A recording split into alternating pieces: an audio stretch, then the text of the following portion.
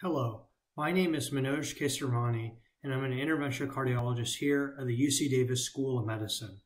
I serve as instructor of record for the IMD 420D course. And this team-based learning session that I'm about to review is entitled Stable Angina Through the Eyes of the Patient. I would like to go from beginning to end, which was not possible during the live session earlier today. I hope also that this team-based learning session can be used as a review for you as a medical student here in this course for your upcoming quiz, your midterm, and final exam. And of course, this can be an important resource for you Similarly, Step 1.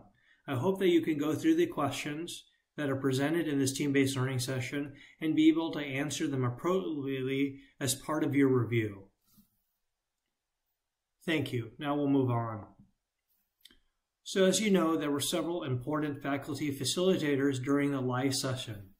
They included Ezra Amsterdam, Kwame Atsina, Dr. James Joy, Dr. Dali Fan, Dr. William Lewis, Dr. Reginald Low, Dr. Gopal Namana, Dr. Aaron Schlegel, Dr. Benjamin Stripe, and last but not least, Dr. Jeffrey Southard. As far as the objectives for this case study, we want to be sure to review important content discussed to date, including coronary artery disease, 12-lead ECG interpretation, and basic concepts and stress testing that will appear on the upcoming quiz and midterm. Also, we will emphasize key concepts that will be tested in the Mr. Stanford case assessment, which will focus on stable angina pectoris. Lastly, this case study should illustrate the critical importance of understanding basic pathophysiology of cardiovascular disease in the routine care of patients. Many of the concepts that we emphasize are concepts that I use in everyday practice as an interventional cardiologist. In any case presentation, we begin with a history of present illness.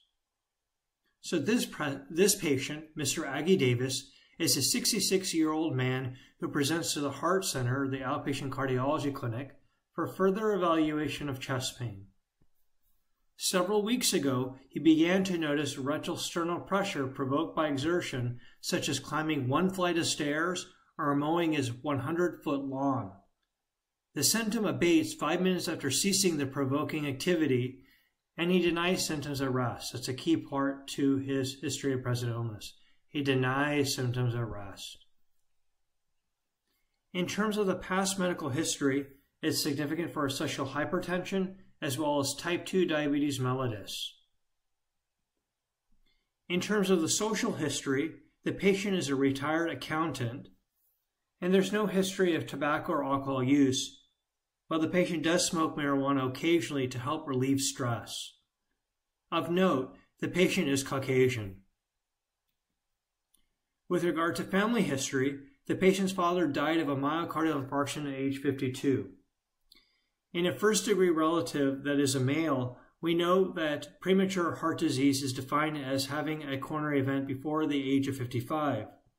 With regard to a first degree relative that's a woman, we say that premature ischemic heart disease occurs when a patient has a coronary event before the age of 65.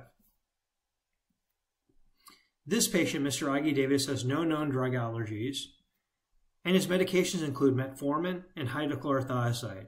Metformin is a very important medication for diabetes treatment that serves as a foundation for that disorder.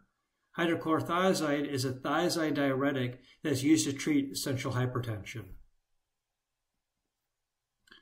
Moving on to the physical examination, we'll first examine vital signs. The patient in the heart center was afebrile with a temperature of 37.1 degrees Celsius. In terms of his heart rate or pulse, the patient had a heart rate of 97 beats per minute, which does fall in the range of normal between 60 to 100 beats per minute, but you will acknowledge and admit that it is on the faster side, although it's within normal limits. In terms of the patient's blood pressure, the patient's blood pressure is elevated at 162 over 95 millimeters of mercury. In a patient that has known cardiovascular disease, we state that the blood pressure goal, according to the American College of Cardiology and American Heart Association guidelines, is a blood pressure goal less than 130 over 80 millimeters of mercury. In a patient that has no known cardiovascular disease, we state that the blood pressure goal is less than 140 over 90 millimeters of mercury. So, regardless of which goal you choose, this patient is notably in the hypertensive range, and this range would be consistent with stage 2 hypertension. In terms of respirations, the patient is not tachypneic. The patient is breathing at 14 breaths per minute. The patient also has a normal oxygen saturation of 98% on room air by pulse oximetry. In regard to the body mass index, the patient's body mass index is 29 kilograms per meter squared. This puts this patient in the overweight category. A BMI between 25 to 30 is consistent with overweight status, a BMI of 30 or greater is consistent with obesity. In general, the patient is in no acute distress. In particular, he's not in any cardiac distress. He's alert and oriented to person, place, time, and situation, and is able to have a normal conversation with a physician. In terms of the head, eye, ears, and neck exam, the patient has no arcus cornealis bilaterally. This refers to a light ring around the iris that represents lipid deposits.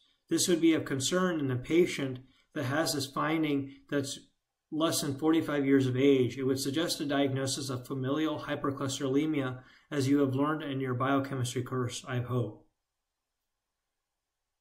Additionally, the patient has no carotid bruits with normal carotid upstroke bilaterally, suggesting the patient does not have carotid artery disease, but physical exam alone is not the best screening test. The patient also has no jugular venous distension with a jugular venous pressure of 6 centimeters of water, again falling in the range of normal. On cardiovascular exam, the patient has a regular rate and rhythm.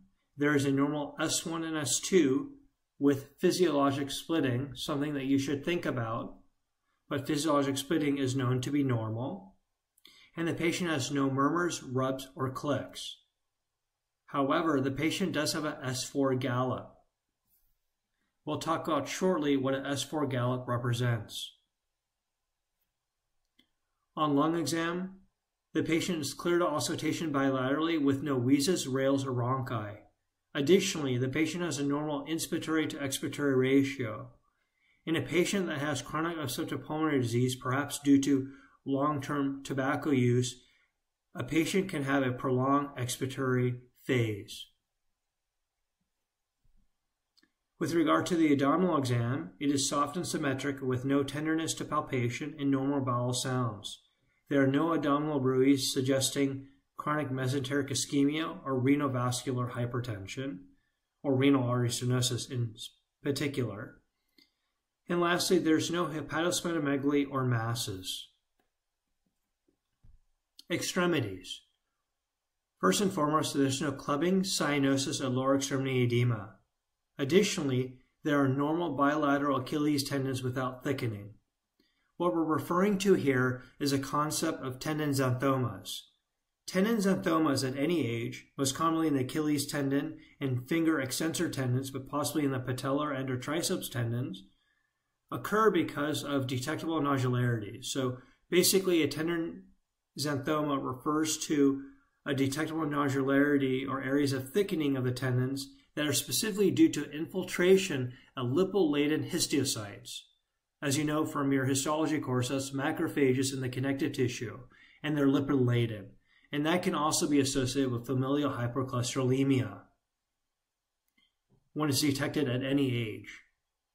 In terms of the vascular exam, as it relates to extremities, the patient has two plus bilateral radial, dorsalis pedis, and posterior tibial pulses as well. Grossly, the patient has no neurologic focal deficits. In terms of the skin exam, the patient has no tuberous xanthomas or xanthelasma. Tuberous xanthomas are firm, painless, red-yellow nodules. They usually develop in pressure areas such as extensor surfaces of the knees, elbows, and buttocks. So shown in this example are tuberous xanthomas adjacent to the elbow. In contrast, xanthelasmas refer to sharply demarcated yellowish deposit of cholesterol underneath the skin that are frequently seen in the eyelid region. So, given physical exam that we've now reviewed for this patient, the clinical decision making becomes important. So the question I ask you is, what features on physical exam in this patient might suggest myocardial ischemia? So because obviously this is a recorded lecture, I would ask you to pause the video at this point to think about the answer to this question. In particular, you're going to focus on the S4 gallop and think about what that represents. So now that you've paused the video and come back to it, let's now talk about the answer to this question. So in a patient that's having chest pain, we have to consider the possibility of myocardial ischemia. So at a very simplistic level, what myocardial ischemia refers to is inadequate blood supply, or coronary blood supply in particular, to the ventricular myocyte. So if the ventricular myocyte does not have adequate blood supply, what will happen is that there will be a decrease in contractile function, referred to as a decrease in systolic function. So when we have a decrease in systolic function, in particular with a muscle or ventricular myocyte that's not getting adequate blood supply, while other parts of the heart are getting adequate blood supply, what can happen is we can have an uncoordinated or dyskinetic apex beat involving a larger area than normal. Again, we refer to that as a dyskinetic apical impulse. So that's one thing that can be detected on exam. This was not reporting in this patient, but the patient did not have a dyskinetic apical impulse.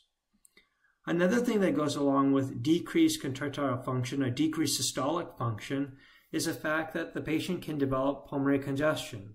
So when we're talking about the level of the left ventricle, as we'll learn more about in the heart failure lectures that you'll receive in the subsequent weeks, what can happen is that left ventricular end diastolic pressure will increase. Because of the increase in left uh, ventricular end diastolic pressure, there'll be an increase in pressure in chambers that precede it. So the left atrial pressure will also increase. And with the increase in left atrial pressure, there will also be an increase in pulmonary venous pressure and ultimately an increase in pulmonary arterial pressure such that the patient will have crackles or rales on exam. And that has to do with the fact that with pulmonary congestion, there's actually fluid in the alveoli that are appreciated on auscultation. Now, what else can myocardial ischemia do? It can decrease diastolic compliance. So there can be a decrease in diastolic compliance that can trigger an S4 gallop.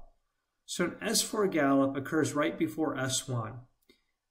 The typical scenario in which we hear an S4 is we have a thickened left ventricle, typically related to chronic hypertension, which very well can be the case in this patient because the patient's blood pressure was elevated.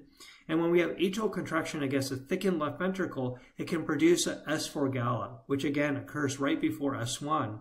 And this is related to the fact that myocardial ischemia causes a decrease in diastolic compliance. Another key feature with myocardial ischemia is the fact that we have papillary muscles that are important components of the mitral valve apparatus as well as the tricuspid valve apparatus. And so when we have decreased coronary blood supply to the papillary muscle, that can be associated with dysfunction. And when we have papillary muscle dysfunction, in particular involving the mitral valve, a patient can develop mitral regurgitation or leakage of the mitral valve. So when the mitral valve should be closed and blood should be going out from the left ventricle or into the left ventricle, that blood is actually going back into the left atrium. In addition, whenever a patient has chest pain, that dry sympathetic tone upward. It increases. And we have an increase in sympathetic tone. We notice diaphoresis, an increase in heart rate, and also an increase in blood pressure. When we focus on an increase in heart rate and blood pressure, what is happening is that we're having an increase in myocardial oxygen consumption, which can be represented by the abbreviation of MVO2. So an increase in sympathetic tone can cause an increase in heart rate and blood pressure that increases myocardial oxygen consumption. Obviously, with activation of the sympathetic nervous system, we can also have diaphoresis. So some more clinical decision making. Based on the history and physical examination, develop a differential diagnosis. So again, now is a good time to pause the video and to spend probably 5 to 10 minutes to really think about a differential diagnosis for this patient, where you're going to think about the possibilities for why the patient's having chest discomfort in terms of various systems. Of course, this is a cardiovascular system course, and you should begin with the cardiovascular system, thinking perhaps about coronary artery disease and subtypes of coronary artery disease. But also do not forget about thinking about the gastrointestinal system, the pulmonary system, the infectious system, and other parts of the body that might be a potential trigger or cause for this patient's chest pain. So again, please pause the video and spend about 5 to 10 minutes to think to, about the answer to this question.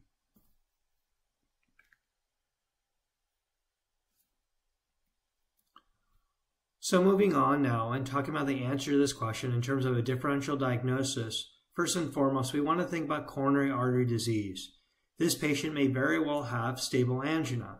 Stable angina pectoris, the term that was used in the lecture by Ezra Amsterdam, refers to a typical pattern of chest pain in which patients will have a chest discomfort that occurs with exertion but is relieved by stress. There's no recent increase in terms of intensity, frequency, and duration, but we'll talk about this shortly. This should be differentiated from acute coronary syndromes, which you'll learn more about in your acute coronary syndromes lecture that we'll provide to you in the coming days. When we think about an acute coronary syndrome, there's a spectrum that ranges from unstable angina to non-ST segment elevation myocardial infarction to ST segment elevation myocardial infarction, where you have a complete occlusion of a epicardial coronary vessel, such as a left anterior descending artery. Other considerations for a patient like this do include Prinzmetal's or vasospastic angina. What this refers to is that in an epicardial coronary vessel, you can have vasoconstriction taking place. This frequently happens in the setting of a non-obstructive lesion, perhaps a stenosis of 30%, but certainly there's no reason why it can't happen in a patient that has a high-grade stenosis of 70% or greater. But this also can occur in patients that have no obstructive coronary arteries or no significant coronary artery disease, and it's also a consideration in a patient like this. So let's explore all this in greater detail. Let's first begin with stable angina and review this disease that you learned about through Dr. Ezra Amsterdam. So stable angina is a chronic pattern of transient angina pectoris. It's precipitated by physical activity or even emotional upset or emotional stress. It's typically relieved by rest within a few minutes, and episodes are often associated with temporary depression of the ST segment, but permanent myocardial damage does not result. So it's really important to understand that permanent myocardial damage does not result. And one way that we might be able to assess that is to check cardiac biomarkers. Some examples of cardiac biomarkers that are clinically relevant include high sensitive cardiac troponin T. Now, in stable angina, there's no recent increase in terms of intensity, frequency, or duration or symptoms. These are important questions to ascertain when determining whether a patient truly does have stable angina such as the situation of Mr. Aggie Davis. Now, this is in contrast to unstable angina. So, unstable angina represents an acute coronary syndrome. And acute coronary syndromes are a spectrum of disease, ranging again from unstable angina to non-ST segment elevation myocardial infarction to the worst case scenario, ST segment elevation myocardial infarction. So what's occurring here is that patients will typically have plaque rupture or erosion. So let's focus a little bit more on this slide here to define what unstable angina is at the pathophysiologic level. So the way that a plaque develops is that we have LDL, low density lipoprotein, circulating through the, the blood system. And what happens is that LDL becomes oxidized and is taken up by macrophages as well as smooth muscle cells within a coronary vessel. And this helps to disrupt the intimal layer such that the plaque develops and it causes a stenosis. So what happens in unstable angina, which differentiates it from stable angina, is the plaque becomes unstable. The way in which the plaque becomes unstable is by two major mechanisms. Either it's plaque rupture, which occurs more commonly, or plaque erosion. Plaque erosion is something that we might find more frequently in women. And so when we have plaque rupture, what happens is that there's platelet aggregation, thrombus formation, and also unopposed vasoconstriction. And that's been shown here where we have atherosclerosis with blood clot. So sometimes we'll refer to this as coronary atherothrombosis. Now, let's talk about variant angina. So variant angina is a disease entity in which there may be no overt plaque, but there can be intense vasospasm, which can behave like a 70% stenosis and cause chest pain. Oftentimes, when patients have Prinzmetal's or vasospastic angina, it can be triggered by cold weather. That's just one example. Now let's go back and talk about stable angina, what is occurring at the pathophysiologic level. The way we can do that is let's first concentrate on a normal coronary artery. In a normal coronary artery, we have an intimal layer that's, that's lined, I should say, lined by endothelial cells. And then we have a medial layer that's composed of smooth muscle cells. So what's important here is that we have a patent lumen, we have normal endothelial function, and there's no platelet aggregation taking place. Now in stable angina, we can develop a plaque in the same way that you developed it with unstable angina, where again, we have oxidized LDL being taken up by macrophages and also by smooth muscle cells. Foam cells then develop. Foam cells then develop. And that's also true of unstable angina. But anyways, we have a plaque here that has, that has not undergone plaque rupture or erosion. And this plaque morphology is chronic, and that's why a patient will have no recent change in terms of intensity, frequency, or duration of their symptoms. Again, we'll talk more about acute coronary syndrome such as unstable angina in your acute coronary syndrome lecture. One last thing I will say though before I move on is this concept of myocardial infarction. So we talked about non-ST segment elevation myocardial infarction and ST segment elevation myocardial infarction.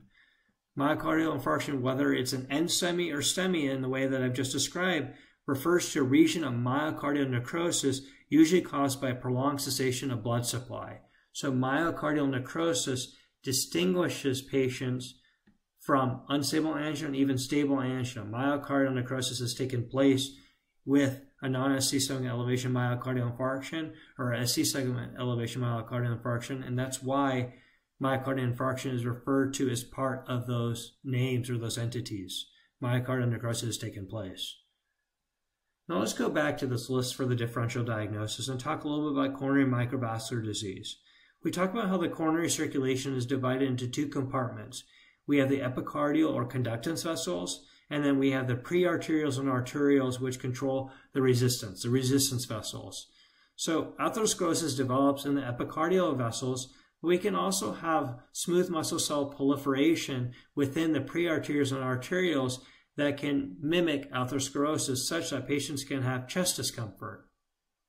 This is not something that's emphasized in this course, but it's something we want you to be aware of. So that's a possibility in a patient like Mr. Aggie Davis. And another concept that we don't want to emphasize, but we want you to be aware of, is the idea of a myocardial bridge. So we talked about with epicardial coronary vessels how coronary flow is or supply is occurring primarily during diastole. So if we take the example of the left anterior descending coronary artery, the left anterior descending coronary artery is coursing along the interventricular groove as an epicardial vessel initially, but soon it will provide septal perforator branches and will need to course within the myocardium. So if it's coursing within the myocardium, what can happen is that with systolic compression, or systolic contraction, I should say, there can be systolic compression. So with systolic contraction, there can be systolic compression of the vessel. Although the coronary vessel primarily is filled during diastole, this may still result in myocardial ischemia. So you want to consider that as a potential possibility. Again, a disease entity that we are not going to emphasize much in this course, but something we want you to be aware of. And then there's a possibility of anomalous coronary vessels. specifically if the coronary vessel takes an interarterial course. What I mean by that is that, for example, the right coronary artery. The right coronary artery arises from the right coronary cusp of the aortic valve and supplies the inferior wall of the left ventricle. And so, what can happen when a right coronary artery has an anomalous takeoff from the left coronary cusp? So, again, arising from the left coronary cusp, which is anomalous, it will need to get to the inferior wall. The way it will do that is that sometimes one of the ways it can get there is it has to take an interarterial course. So it's a course in between the aorta and pulmonary artery. And because it courses in between with exercise, there can be compression of this vessel as it courses towards the inferior wall. And this might be an explanation for chest pain, particularly in younger patients. Another possibility are inflammatory processes. This includes myopericarditis. So, as you'll learn in subsequent lectures, patients can develop inflammation of the serous pericardium, which is composed of the visceral and parietal layers, as we talked about in your first lecture. But this inflammation can also spread or involve the ventricular myocytes, the myocardium, and in that case, we'll refer to the we'll refer to this as myopericarditis and not just pericarditis. In addition, there can be inflammation of the pleural space, referred to as pleuritis or pleurisy. When a patient has pericarditis or pleuritis or pleurisy, they may have a friction rub that can be also stated by a stethoscope. Let's move on now and talk about the gastrointestinal system. So one possibility is gastroesophageal reflux disease. Gastroesophageal reflux disease is often described as a retrosternal heartburn, commonly postprandial, so occurring after eating, worse when supine, and thus occurs early in the night. Pain is precipitated by certain foods, especially alcohol and caffeinated products, and relieved by antacids. So that's something to think about. But the fact that gastroesophageal reflux disease is associated with food and particular types of food should allow one to be able to distinguish it from coronary artery disease, for example, as a cause of chest pain. Another possibility is esophageal spasm and other motility issues. So esophageal spasm is also retrosternal pain accompanied by dysphagia and precipitated by meals. It is not associated with exertion, just like GERD is not, but it may be relieved by nitroglycerin. This introduces a very important point that the response of chest pain or the patient's response to nitroglycerin in regards to chest pain does not suggest the diagnosis because of the fact that patients can have a esophageal spasm that responds to nitroglycerin as well. And certainly peptic ulcer disease is a possibility. Now moving on, we have to consider the pulmonary system. So sometimes patients can have an atypical pneumonia. For example, patients can have a mycoplasma pneumonia or a walking pneumonia where symptoms can be very similar to what Mr. Aggie Davis is experiencing. Another diagnosis to consider that we cannot miss is a pulmonary embolism because this can be fatal if the diagnosis is not met or made promptly. Another possibility is a pneumothorax. Typically, patients will develop with acute onset of symptoms, and so it's important to distinguish pulmonary embolism and pneumothorax from a patient having an acute coronary syndrome due to unstable angina, for example. Another possibility, or another system rather, is a musculoskeletal system. And under this category, we have to think about costochondritis. Costochondritis is a focal persistent pain that is worse with movement and reproducible on palpation. So perhaps in Mr. Aggie Davis, although he reports chest discomfort with activity, it may be that he's actually having chest discomfort because of movement. And then infectious possibilities. So herpes zoster is definitely a possibility in a patient like this. Typically, the patient will report chest discomfort not at the time that they have the rash, but as the rash resolves.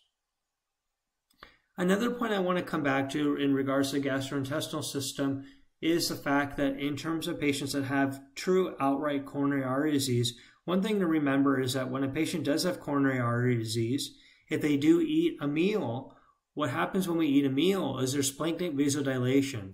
So there's shunting of blood away from other systems towards the splanchnic circulation. And the reason why this is important is that if a patient has a 70% stenosis related to a coronary artery and you're having shunting of blood to the splanchnic circulation, you are, you are in effect having coronary steal. You're taking blood or coronary blood flow away from that 70% stenosis. So patients can have chest discomfort related to coronary artery disease that comes from eating. So we do have to be mindful of that possibility. And it just shows how some of these rules about eating being associated with the chest discomfort are not hard and fast rules that we must abide by at all times. Moving on now, this is a 12 lead electrocardiogram for Mr. Aggie Davis. I'd like for you to take a moment here to please interpret this electrocardiogram. When you interpret this electrocardiogram, I want you to remember the mantra that we've emphasized in this course. I'd like for you to begin by thinking about the rhythm. After we think about the rhythm, we also want to consider the heart rate. Then we move on and think about intervals. The three intervals we look at are the PR interval, the QRS duration, and then the QT or QT corrected interval. So these are the three intervals that we're paying attention to. The next big part of this is a mean QRS axis. We want to determine what the mean QRS axis is. And this is a drawing here to help you with it. In this drawing, we've shown where lead 1 is located, where lead 2 is located, where lead 3 is located, as well as AVR, AVL, and AVF. And by using all this information together and thinking about vector analysis, we can determine the direction of the mean QRS axis. Now we also want to consider chamber enlargement. In this course, we really want to emphasize right or left atrial enlargement. We want you to be able to recognize that. Additionally, we want you to be able to recognize left ventricular hypertrophy. We're not emphasizing right ventricular hypertrophy, but as a cardiologist, it's a consideration whenever I look at EKG whether a patient does have right ventricular hypertrophy. And of course, we want to see if a patient has Q waves, as a negative deflection after a P wave, because that can be representative of a myocardial infarction. And of course, we're going to pay attention to the ST segments, and we're also going to evaluate to see if a patient has any T wave abnormalities. And whenever we're taking care of a real patient, we're going to think about whether the patient has a prior EKG available so we can compare the current EKG to the prior one to see if there are any interval changes. So we're going to go back now to that EKG. And I'd like for you to follow this mantra and go through it and see what you come up with. And so now would be a good time to pause the video to really think about this and then to unpause the video when you're ready. I would take probably five to 10 minutes to review this EKG in detail, and then we'll go through the EKG as well.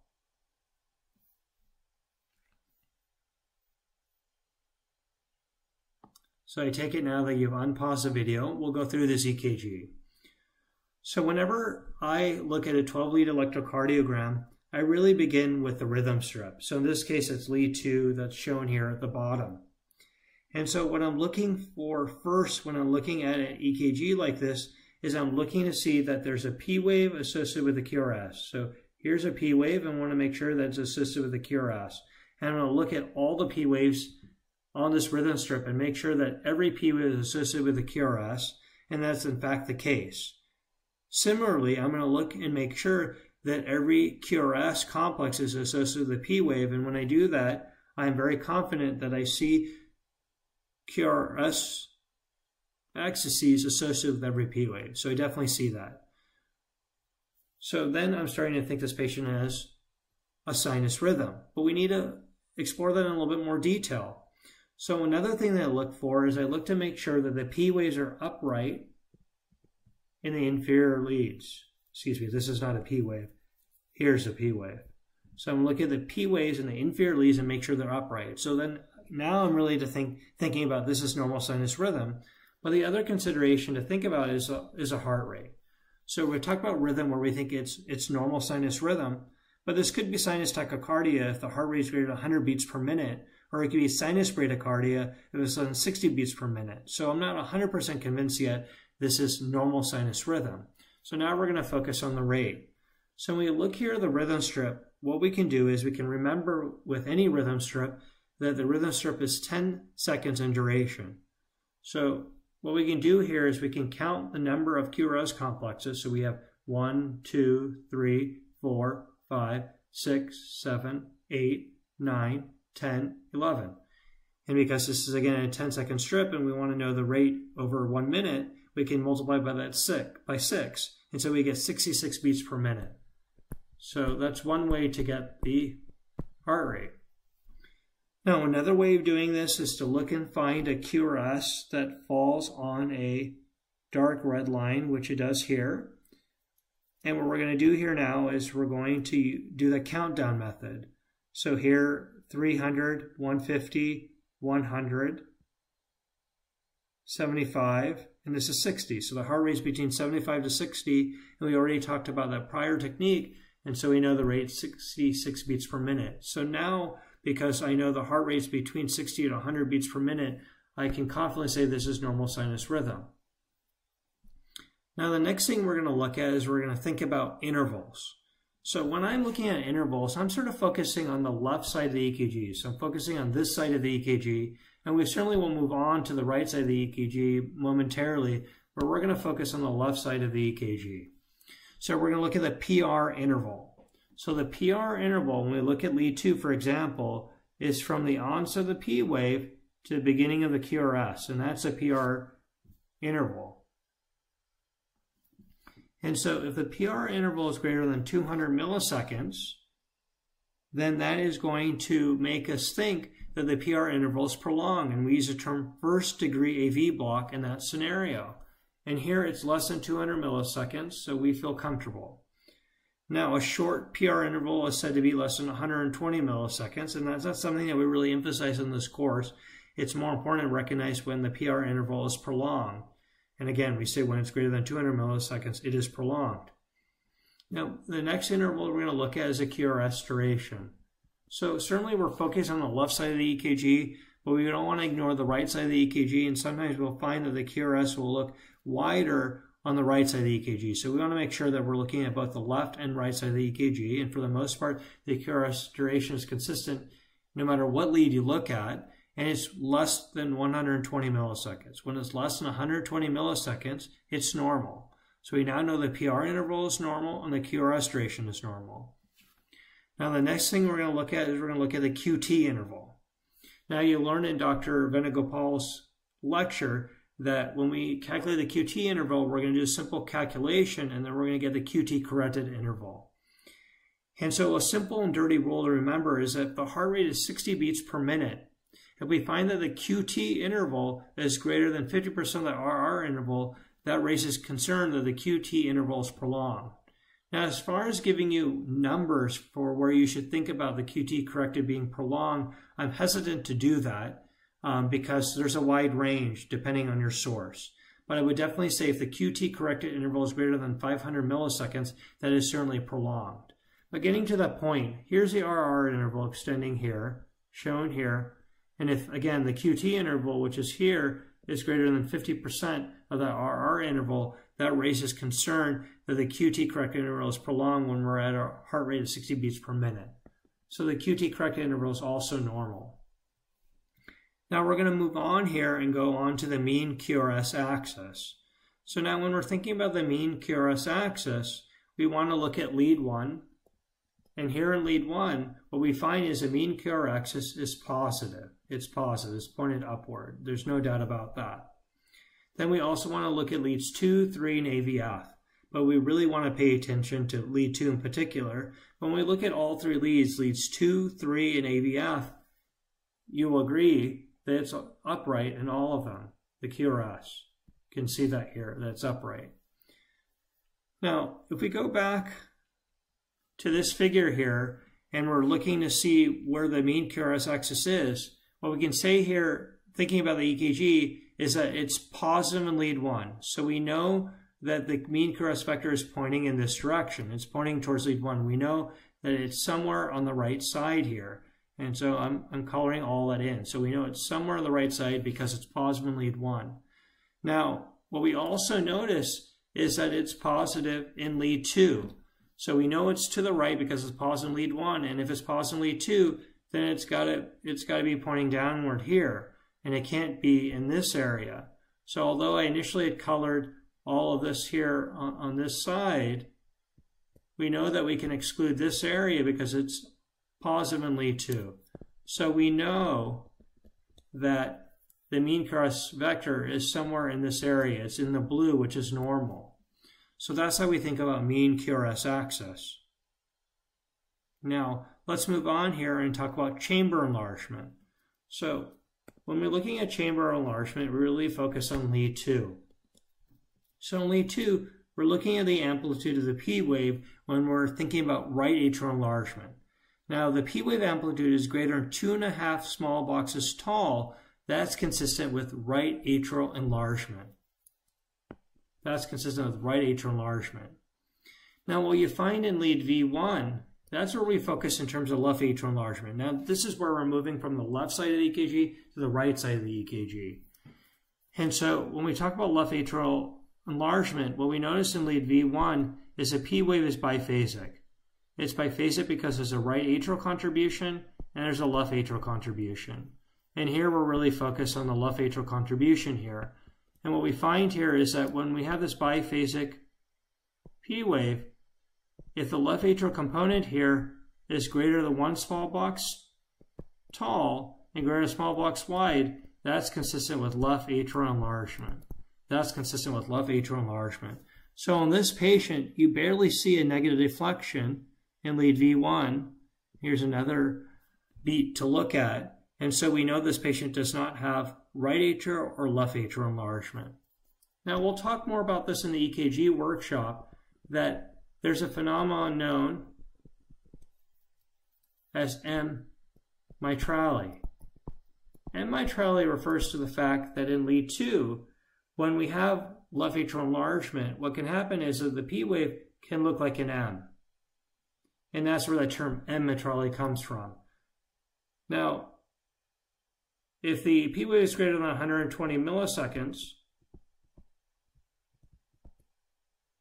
and you have that M morphology, then we are concerned about the fact that the patient has left atrial enlargement. Now, you don't have to have both M mitrale and the uh, small box, small, the negative flexion of the uh, P wave in lead V1B greater than one small small one small wide to make the diagnosis.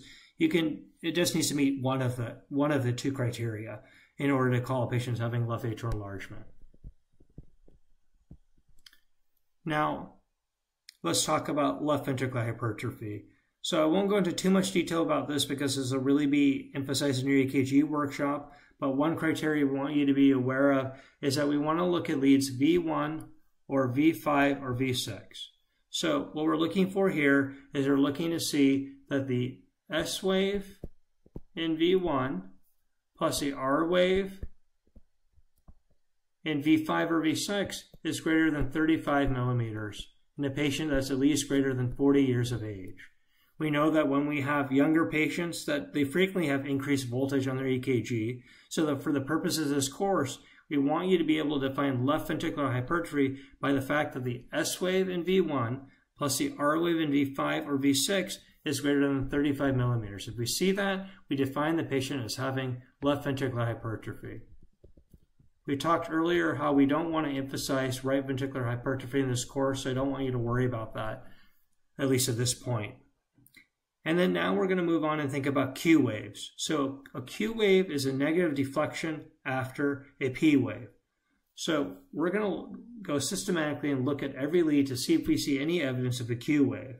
And now maybe in lead 2 you see a tiny deflection after after the P wave in lead 2. So you can see that really small and even to some degree in lead 3. Now these are non-pathologic Q waves. These are non-pathologic Q waves. We say a pathologic Q wave is generally greater than one small, one small box wide and greater than 25% the total QRS amplitude. And so those Q waves we see are non-pathologic Q waves. And so we're going to go on, and as we go on, we really don't see any negative deflections up to P wave. So we do not see any pathologic Q waves. Now, the next thing we're going to look at is we're going to look at each lead to see if there's any ST segment deviation or if there are any T wave abnormalities. And when we do that, we do not see any major ST segment depressions or elevations. Now, when we look for T wave abnormalities, you'll notice, particularly in lead 3, that there are T wave inversions here. Now, in lead 3, having a T wave inversion in this location is not pathologic. It's a normal finding, it's a normal variant. So, this EKG so far is consistent with being a normal EKG. Now, a couple questions that were raised by some of your colleagues is what's going on in lead V2? So, there's some concern that maybe the T wave here is peaked. But you'll notice that we only see it in lead V2. Now, for a T wave to truly be called peak, we like to see that the base is more narrow than this. This base is, is wide. When we see a peak T wave with a narrow base, it makes us concerned about the possibility of hyperkalemia. Typically, we won't we will not see that in just one lead. We'll see that in more leads than just one. So that's one thing to remember. Now, another thing to remember is that when we do have um, T waves with a narrow base, that are tall in amplitude that it can raise a possibility, raise concern for myocardial infarction. We know that we can have what are called hyperacute T waves, so T waves that are, are narrow with a high amplitude that can precede ST segment elevation myocardial infarction or ST segment elevation associated with ST segment elevation myocardial infarction. But what you'll learn about in the EKG ACS lecture that Dr. Venugopal will provide to you in the coming days is that for us to be concerned about something like that is that we need to see it in two or more contiguous leads. Two or more contiguous leads. Contiguous leads refer to leads that describe the same part of the left ventricle. And again, we'll define that in a little bit more detail in Dr. Venugopal's lecture. And the last thing is we want to compare this EKG to a prior EKG if possible. May I also point out something that I don't want to emphasize at all, but that was pointed out by your uh, colleagues, is that you'll see a small little blip. You'll see it in a couple little areas here, mostly in V2 and V3. This could be called a U wave. This is again something we don't want to emphasize. A U wave is a small little blip like that, that is typically one and a half small boxes tall, that comes after the T wave. Now, uh, we also sometimes will use a criteria for us to be able to truly call this a U wave. We like to see it to be 5 to 15% the amplitude of the T wave. And that's not what we're quite seeing here. And again, it's not greater than one and a half small boxes tall. A U wave can be associated with hypokalemia, hypokalemia. It can also be associated with left ventricular hypertrophy and it can be also associated with coronary artery disease. But this is not something we want to emphasize, but it is something that's noted to some degree. It doesn't quite meet the criteria for a U wave, so it's really not something that's of any clinical significance. But it was a question raised by your colleagues. So this is a very thorough evaluation of this 12 lead ECG. And my interpretation of this ECG, overall, a summary statement will be that this ECG demonstrates normal sinus rhythm, the rate of 66 beats per minute, with no other abnormalities. So moving on here, we've gone through the mantra. The question now that comes up is how does this ECG influence your differential diagnosis? I'll have you pause the, the video here to think about the answer to this question. You should only pause this video for about 30 seconds to think about this. And when you unpause this, I'll be here and ready to provide you an answer to this question. And so let's do that right now. The important point we want to make is that a normal ECG, as we see here, does not rule out the possibility of coronary artery disease.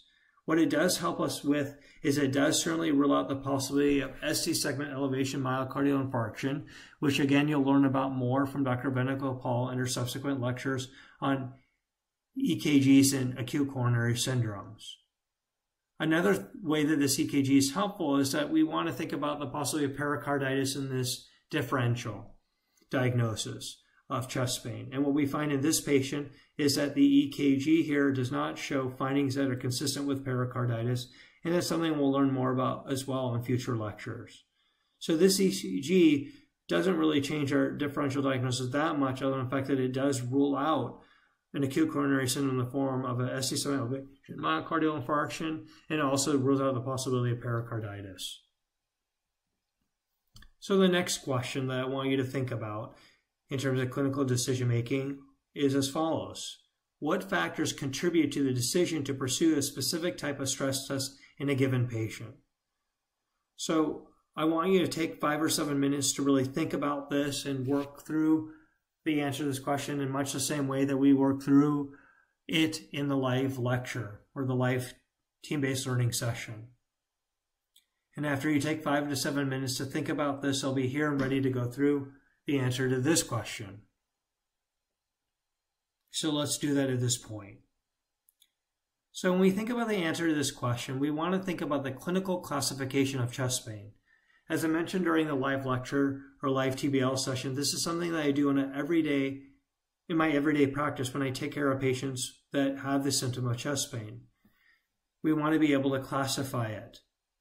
So when I classify a patient as having typical angina or definite angina, it's defined as a patient having substernal chest pain or discomfort, is provoked by exertion or emotional stress, and is relieved by rest and or nitroglycerin. So a patient needs to meet all three of these criteria to be defined as having typical angina. So if we think about our patient, we think about Mr. Aggie Davis, he did meet all three criteria. So in him, we're thinking about him having typical angina when we classify his chest pain syndrome. Now, a patient is defined as having atypical angina when they have chest pain or discomfort that lacks one of the characteristics of definite or typical angina. So they're meeting two of the three, if you will. And then a patient is defined as having non-anginal chest pain, non-anginal chest pain, when they have chest pain or discomfort that meets one or none, one or none of the typical angina characteristics. So again, when we think of Mr. Aggie Davis, he has typical angina when we classify as chest pain syndrome. Now let's talk about pretest probability of coronary artery disease. So this is based on a patient's age, sex, and a clinical classification of chest pain. So we think of Mr. Aggie Davis, Mr. Aggie Davis has typical angina. As we talked about. He's 66 years old, and obviously he's a male, as we've discussed. So now we're going to look at this table. So now we're going to find his age. So he's greater than 60. And then he's male. And then we're going to think about what his clinical classification of chest pain is. And he has typical angina. So his pretest probability for coronary artery disease is high. Now let's take the hypothetical example of a young patient, maybe a patient that is uh, 25 years old, and a 25 year old patient that has non anginal chest pain where in that individual, the pretest probability is going to be really low. If they're male, and very low if they're female. And so if we look at the, the figure here at the bottom, we define a very low pretest probability as a pretest probability as less than 5%. We define a low pretest probability as being between 5 to 10%. And then we have this large category of intermediate, which ranges from 10 to 90% as cardiologists, we sort of develop a, a gestalt, if you will, of kind of intermediate low, intermediate medium, and intermediate high, where we're starting to think about patients being in the 70 to 80% range. And then patients that have high pretest probability are those that have a pretest probability greater than 90%, which is going to be Mr. Aggie Davis. So let's explore Bayes' theorem. So Bayes' theorem is a very important concept that you've learned about in your epidemiology course in medical school. So Bayes' theorem in its simplest form refers to the fact that the post-test probability of a disease is influenced by the pre-test probability. So again, the post-test probability of disease is influenced by the pre-test probability. So when we look at this figure, we have on the x-axis pre-test probability here, and the y-axis we have post-test, post-test probability. And then we have this dotted line which represents a patient's pretest probability. So let's think about Mr. Aggie Davis. So Mr. Aggie Davis has high pretest probability. So he's on the line here. And so something that we want to think about is if he was to undergo a stress test, and so a lot of the stress tests that we choose, cardiac stress testing, um, can really be helpful with intermediate pretest probability patients. But let's focus on Mr. Aggie Davis, which is a high pretest probability patient. Now, if he undergoes a stress test and his stress test is negative, he gets a negative result, he's going to go down to here. He's going to go to this line, this green line here. And so what you'll notice here is that his post-test probability did not change that much because his pretest probability was really high. Now let's talk about the situation where his test is positive. He has an abnormal stress test. Then he's going to go to this line here. And again, his post-test probability is going to increase, but it's not going to change that much. Now let's compare that to another patient where their pretest probability is more intermediate. Now, if this patient has a negative test result, we might feel a little bit more comfortable that we have ruled out coronary artery disease here because there's a bigger change here now, and the post-test probability is relatively low. Here we can say it's about uh, 0.35 or 35%. So it's really changed here as compared to Mr. Aggie Davis, where the post-test probability remains really high. So if we have a test that shows that the patient is negative or we have a negative result, we might feel like that's a false positive. And that raises, or excuse me, I should say a false negative. We may be concerned that's a false negative. Again, we may be concerned that's a false negative. Now going back to this patient, this hypothetical patient that is intermediate pretest probability, if they have a positive result with their stress test, that really changes things as well, where the post-test probability increases quite a bit, where we might think about doing things a little bit differently, if you will. This is something that is not heavily emphasized in this course, but it's something that we're doing intuitively in medicine every day. You'll learn more about this in terms of your pulmonary course with regard to pulmonary emboli as well, and Wells criteria. So let's move on now and, and tackle that question in a different way. So given Mr. Aggie Davis' pretest probability for coronary artery disease was the next best step in management to help confirm the diagnosis. So again, we said Mr. Aggie Davis has high pretest probability for coronary artery disease. So we want to think about a test where we're really going to get more bang for our buck so that if we do this test, the post-test probability is going to increase quite a bit. Now, with that said, it's very important sometimes that we get a lot of physiology in terms of the patient. What I mean by that is that it might be really important to think about reproducing his chest pain in, in a control setting on an exercise stress test, for example.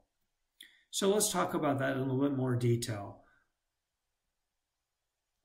So when we think about the evaluation of coronary artery disease, among the many options we have available, we can consider exercise treadmill or what's called exercise tolerance test.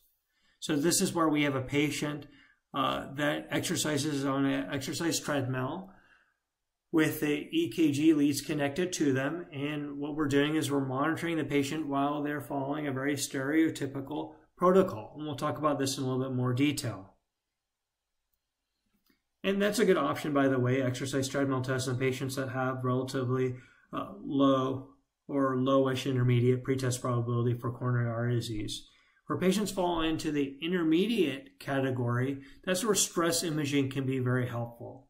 When we think about stress imaging, that can come in the, with exercise in the form of what's called a treadmill stress echocardiogram.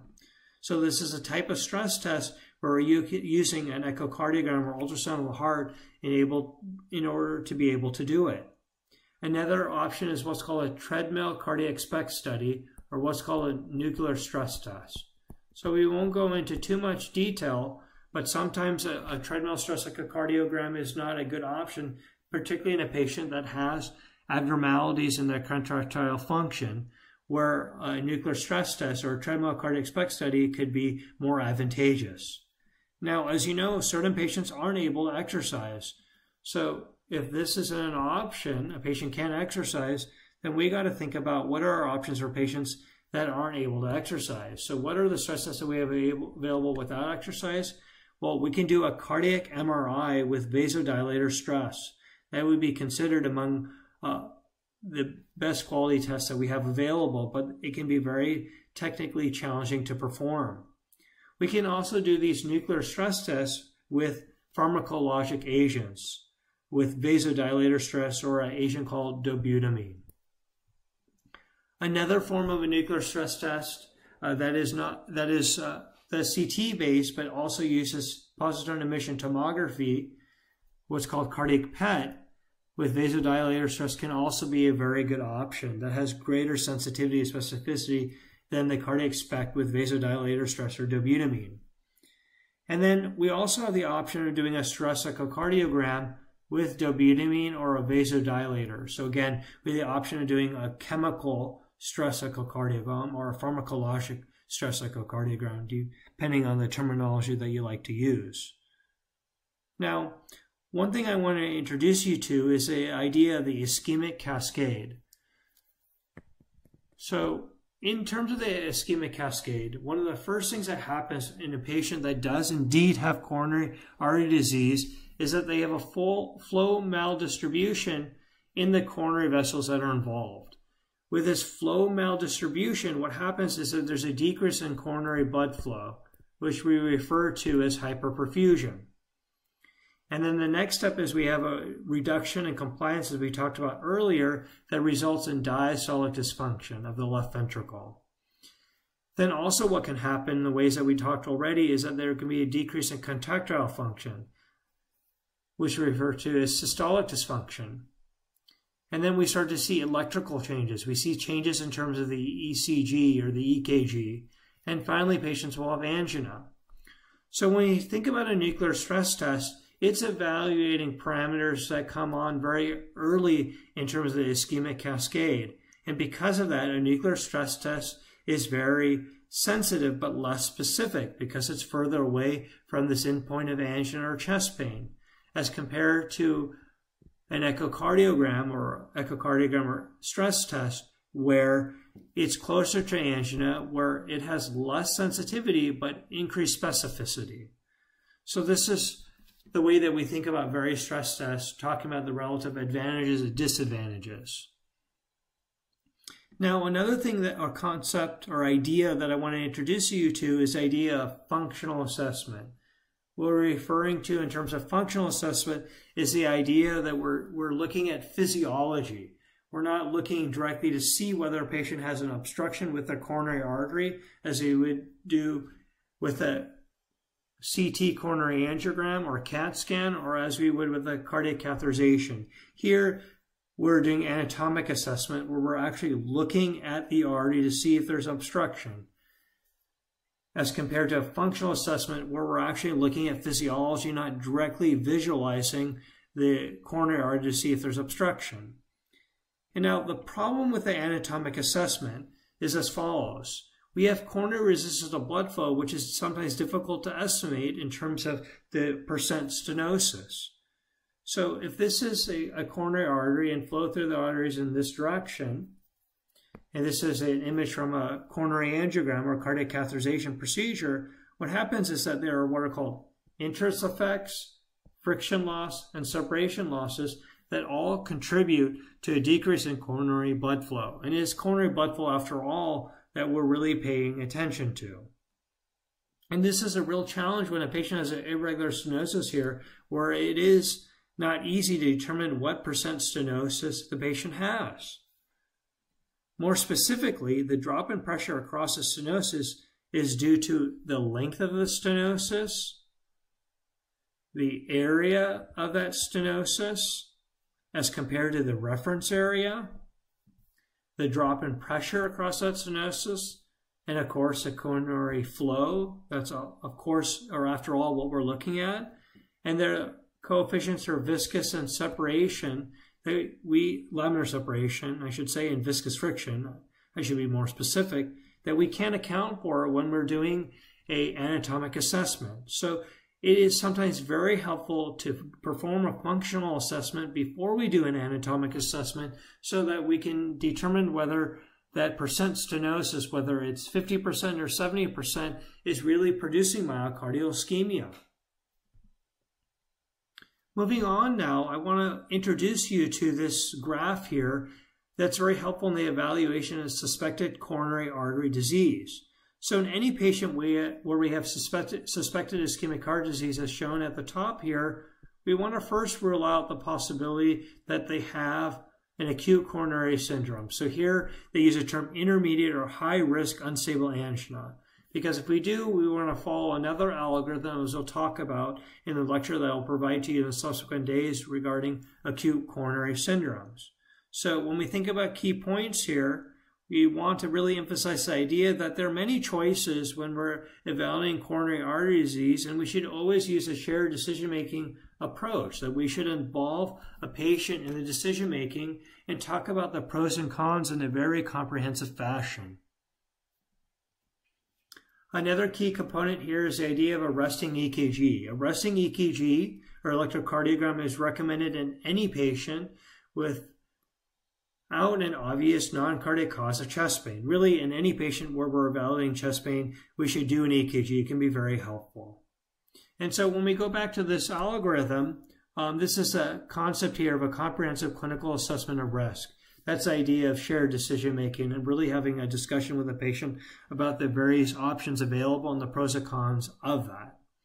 So as we move down to this algorithm, we want to first ask ourselves, well, has this patient obviously had any recent exercise or cardiac imaging study that might suggest whether they have coronary artery disease already? And if they have not, then we're going to move downward and think about stress testing.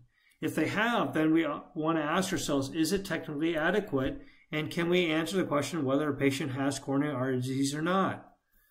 So if a patient has no contraindication stress testing, which we're not emphasizing in this course, and the patient's able to exercise, the answer is yes.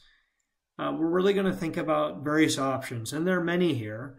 And we won't go into some of the nitty gritty, other than the fact that we want to know whether the EKG is interpretable or not. Because if the EKG is not interpretable, because there are sometimes changes in EKG that allow us not to be able to use the EKG, then doing an exercise treadmill test alone is not going to be very helpful because we're so reliant on the EKG itself. And again, if the EKG is not interpretable, then the exercise tolerance test is not going to be helpful. Then we're going to think about doing a nuclear stress test or a stress echocardiogram, and that's what's shown here. That's a really good option when the EKG is not interpretable. If the EKG is interpretable, then we're really going to think about an exercise tolerance test, and that's what's denoted here as a center size exercise EKG. And then, as you know, in the previous slides, we talked about other options such as a pharmacologic cardiac MR. Um, we can even do an anatomical assessment involving a CT coronary angiogram. Here that's denoted as CCTA. Um, and so again, there are a lot of different options. We're not expecting you to be able to to differentiate the various options for a given patient, but we do want you to we do want to introduce you to the many decisions we can make as a cardiologist as far as risk stratifying a patient as having coronary disease or not. A couple other important points I want to leave you with is the fact that patients who present with acute angina should be categorized as stable or unstable. And if they're stable, then we feel a little bit more comfortable about thinking about this algorithm. And of course, exercise is always preferred to pharmacological methods if possible because we learn so much with exercise. And so we're going to move on here and talk a little bit about a treadmill stress echocardiogram a treadmill stress echocardiogram would be a good option for Mr. Aggie Davis. So in the live lecture, we talked about a treadmill stress echocardiogram, and it would be a good idea to refer to that, that part of the lecture if you like, but we'll go through it here as well.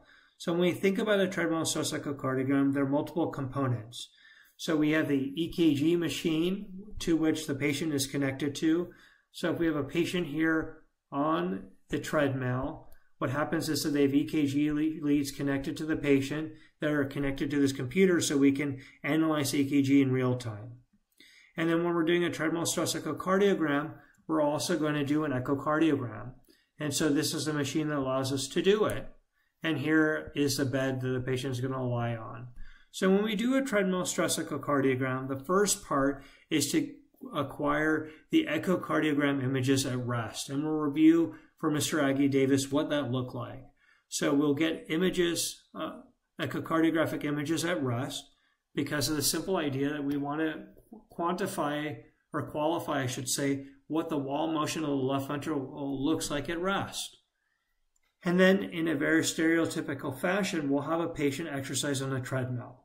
And that goes on to the next slide here, where we're going to first acquire a resting EKG and resting echocardiographic images.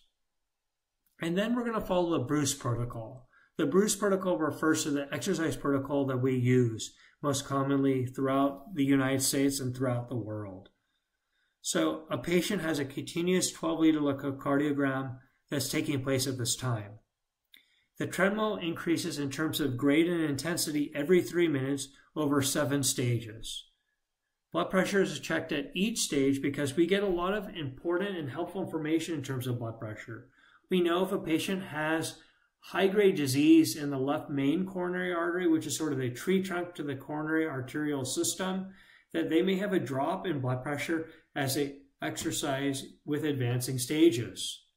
But we also have some patients where they may have a very hypertensive response, which is also abnormal. Meanwhile, the ECG is monitored for any ST segment changes, arrhythmias, or other abnormalities. And if we see ST segment changes, that can raise concern for ECG evidence of myocardial ischemia, and we'll talk about that shortly. Finally, when the patient exercises as far as they can go, or when they get chest pain that prevents them from going any further, we obtain at peak stress stress images referring to the echocardiogram. So we'll get the patient off the treadmill onto that bed and we will acquire what are called the stress images. So we'll acquire images using the echocardiogram of the left ventricle at peak stress. And then in the recovery phase, after the patient has some time to rest, the EKG continues to be monitored as well as blood pressure and heart rate. And we're looking to see how quickly the heart rate comes back to normal because that can provide us with a lot of important prognostic information. We're also looking at again at the blood pressure response and if there are any ECG changes such as ST segment elevations or depressions we are going to see how long it takes for those to recover. So now coming back to Mr. Aggie Davis, this actually is an ECG of the patient at peak stress. And so what we noted in this patient is that this patient had horizontal to upsloping ST segment depressions of at least one and a half millimeters in the inferior leads and in leads V5 and V6. So I'm going to circle that for you. So the inferior leads are lead 2 here, and you'll see here that there are definitely ST segment depressions, actually in all these three beats here. And you'll see that here also in lead 3, in the uh, beats that I have circled. Now you also notice that to some degree in lead V5 and to some degree in V6 in that beat, but we're looking to see a consistent pattern of ST segment depressions in each beat. We're not just looking to see in one beat in one lead. And so when a patient has one point one and a half millimeters of ST segment depressions this way, this raises concern that this patient does have ECG evidence of myocardial ischemia. Now, as we talked about in the live lecture, very frequently when we do see ECG changes suggesting myocardial ischemia, we do see it in leads 2, 3, and AVF. But we do consider V5 to be the most helpful lead. When we see ST segment deviations in lead V5, particularly ST segment depressions, this lead is the most specific in terms of ECG evidence of myocardial ischemia. So in particular, Mr. Aggie Davis, he was able to exercise for 6 minutes and 32 seconds. So the fact that he's able to get beyond 6 minutes does have some good prognostic value, but he wasn't really able to get that far. The other part to this is we want to think about his angina index. So when he exercised on this stress test, he did get some of that chest discomfort, but he's able to carry onward. So that's why he used the term non-limiting angina. He didn't have any exercise-limited angina. He just had non-limiting angina. And so we're able to plug all this information into what's called a Duke treadmill score. And this patient's Duke treadmill score is negative 5, which puts him at moderate risk which means that being a male that is one year mortality is about 2.9%. So the way we would counsel a patient like this, we would say, Mr. Aggie Davis, based on your symptoms that you're reporting, And the stress test thus far, the treadmill component, if we took 100 patients like you, three patients would be at risk of death after one year. Now, when we're looking at the Duke treadmill score, what we're looking at is the exercise time minus five times the maximal ST segment change, depression in this case, minus four times the angina index, where we said the angina index is one. And so again, we got a score of negative five, which puts this patient in the moderate risk category as shown here. We show that when a patient has a score of five or higher, that they're low risk, and then we show that a patient that has a score uh, that's less than negative 11 or is a high risk patient.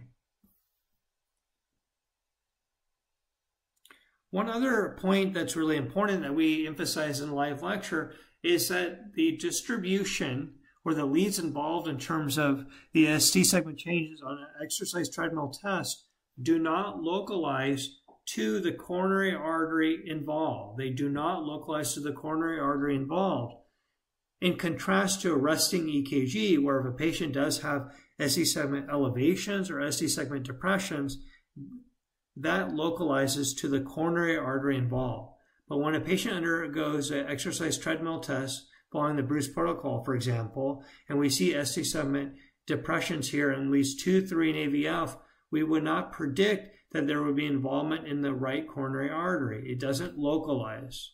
Again, it does not localize. So an important concept and point.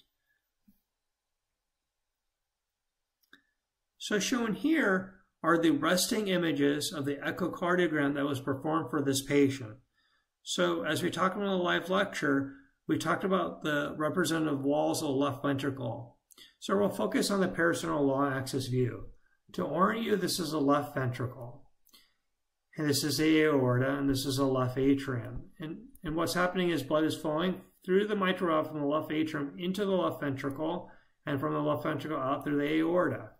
But what we're really paying attention to in terms of this parasternal long axis view is the fact that this wall here represents the anterior septal wall of the left ventricle, and this represents the posterior wall of the left ventricle, sometimes referred to as the inferolateral wall of the left ventricle.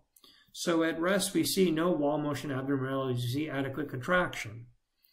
Here we have the apical four chamber view. And here again is the left ventricle. And what we find here is the anterior lateral wall. So this is the anterior lateral wall of the left ventricle. This is the apex of the left ventricle. Remember in that first lecture of the heart, I talked to you about the apex of the heart and the base of the heart. So this is the apex of the heart. And here is what's called the septum of the left ventricle. So we have the basal inferior septum, we have the mid inferior septum, and then we have the apical septum here. So that's the apical four chamber view, and those are the representative walls of the left ventricle we're able to see. Now the apical two chamber view, we again have the left ventricle, and here we have the anterior wall, in contrast to the anterior lateral wall that we talked about here. This is the anterior wall. Again, this is the apex and then this is the inferior wall. And here we see good contraction, good systolic motion, a normal ejection fraction of the left ventricle, where the visual estimate of the left ventricular ejection fraction to my eye is 55%, which is normal. And then we have the parasternal short axis view, where we've cut the left ventricle into a donut, if you will. And what happens here is that this is the anterior wall, this is the lateral wall, this is the inferior wall, and this is a septal wall of the left ventricle. And actually what you're seeing here is a papillary muscle, actually. And again, left ventricular function is normal, taking into account all the images that we've shown. So now we're moving on, and this is Mr. Aggie Davis in the stress phase. So in the peak phase, after he completed 6 minutes and 32 seconds of the Bruce protocol. And so now when we look at the parasternal long axis view, what we find here is the apex and a portion of the anterior septal wall is not contracting the way it did at rest. So what we're seeing here, seeing here is we are starting to see echocardiographic evidence of inducible myocardial ischemia related to the fact that there's systolic dysfunction at peak stress. Now, this is apical four chamber view. So again, in the apical wall, and to some degree even in the distal septal wall and in the anterior lateral wall, we see hypokinesis, but it's definitely most pronounced here in the apex. And then moving on in the apical two-chamber view, here we see that the anterior wall is not moving that well here. It's not contracting, it's not thickening as it should. And we see that also in the apex.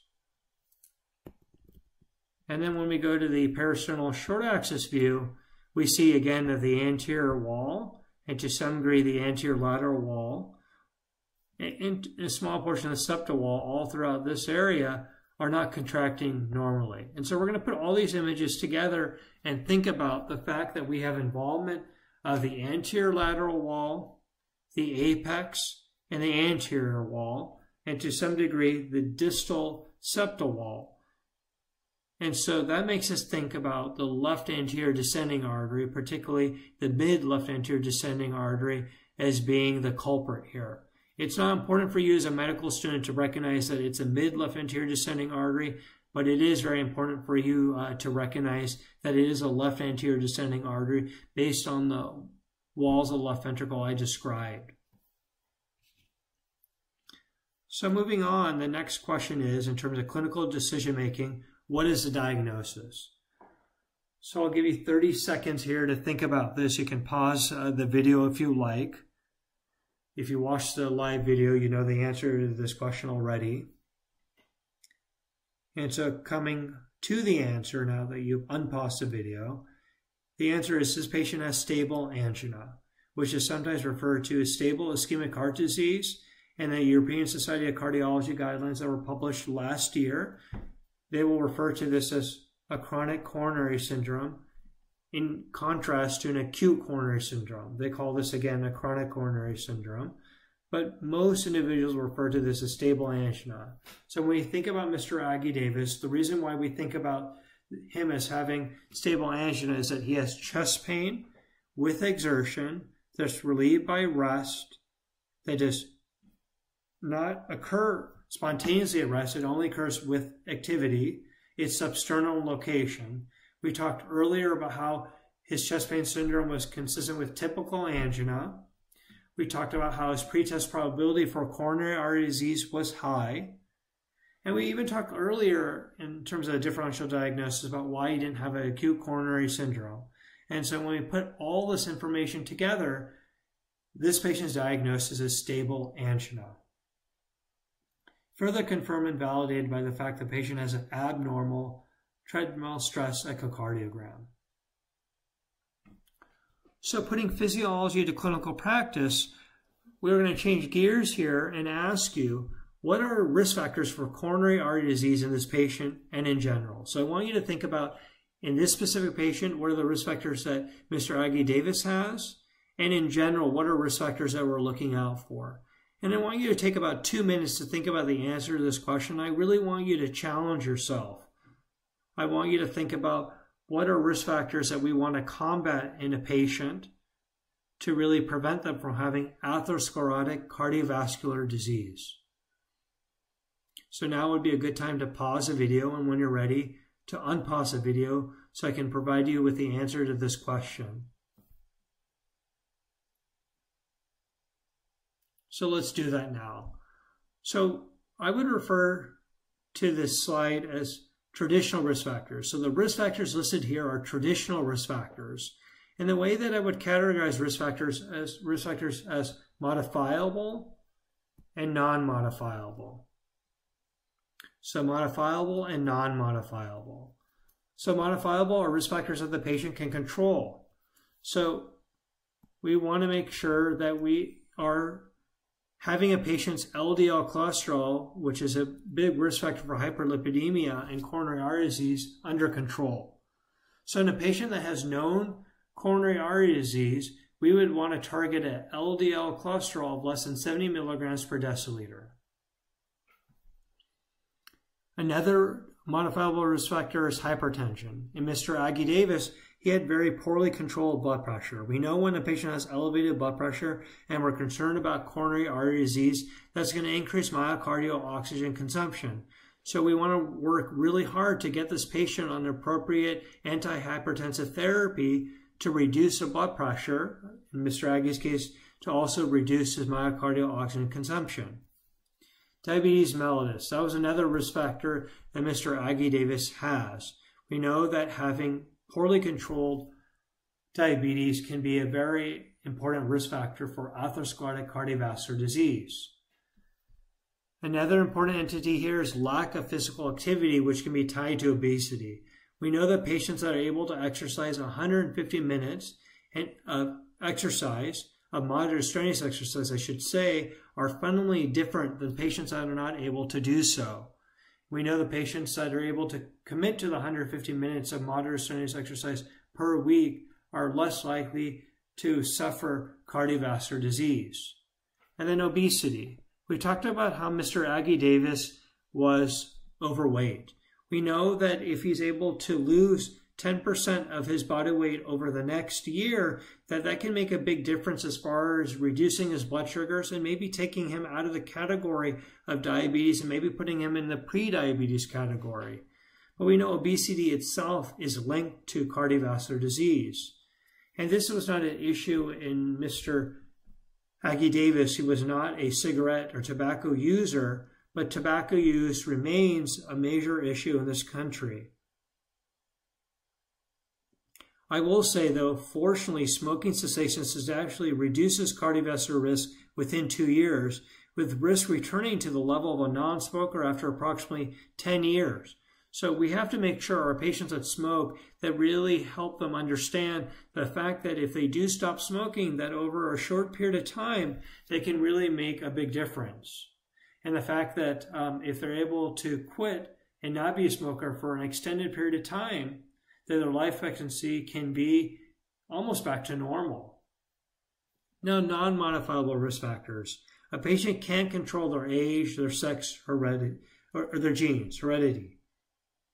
Uh, one thing to remember in terms of sex is that we talk about how um, premenopausal women have some protection in terms of not developing cardiovascular disease. But the issue is that once a woman becomes menopausal, they quickly catch up to men.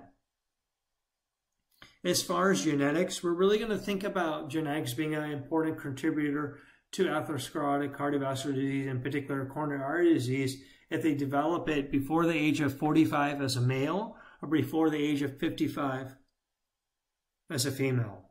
That's going to really raise a, a lot of concern uh, for us. One last thing I'll also mention is alcohol. Alcohol comes up quite a bit. So regular moderate alcohol consumption, one to two drinks daily for men, or one drink daily for women, has been associated with a decreased incidence of cardiovascular disease. Because of the known deleterious effects of drinking, the American Heart Association states the following. So if a patient is already drinking alcohol, you can encourage them to continue to drink alcohol in moderation because of the fact that it's cardioprotective. But if a patient is not drinking alcohol, you shouldn't necessarily encourage a patient to drink alcohol to get that cardioprotective effect.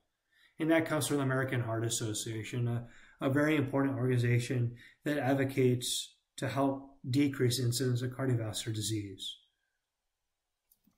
So moving on here, moving from basic to translational science, the question I want to ask you is what other factors might contribute to coronary atherosclerosis?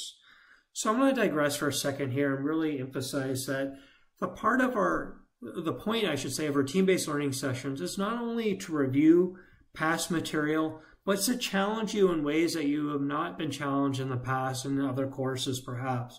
We want you to think about things that may not be in your textbook or may not be obvious to you and may be only evident in a team-based learning session.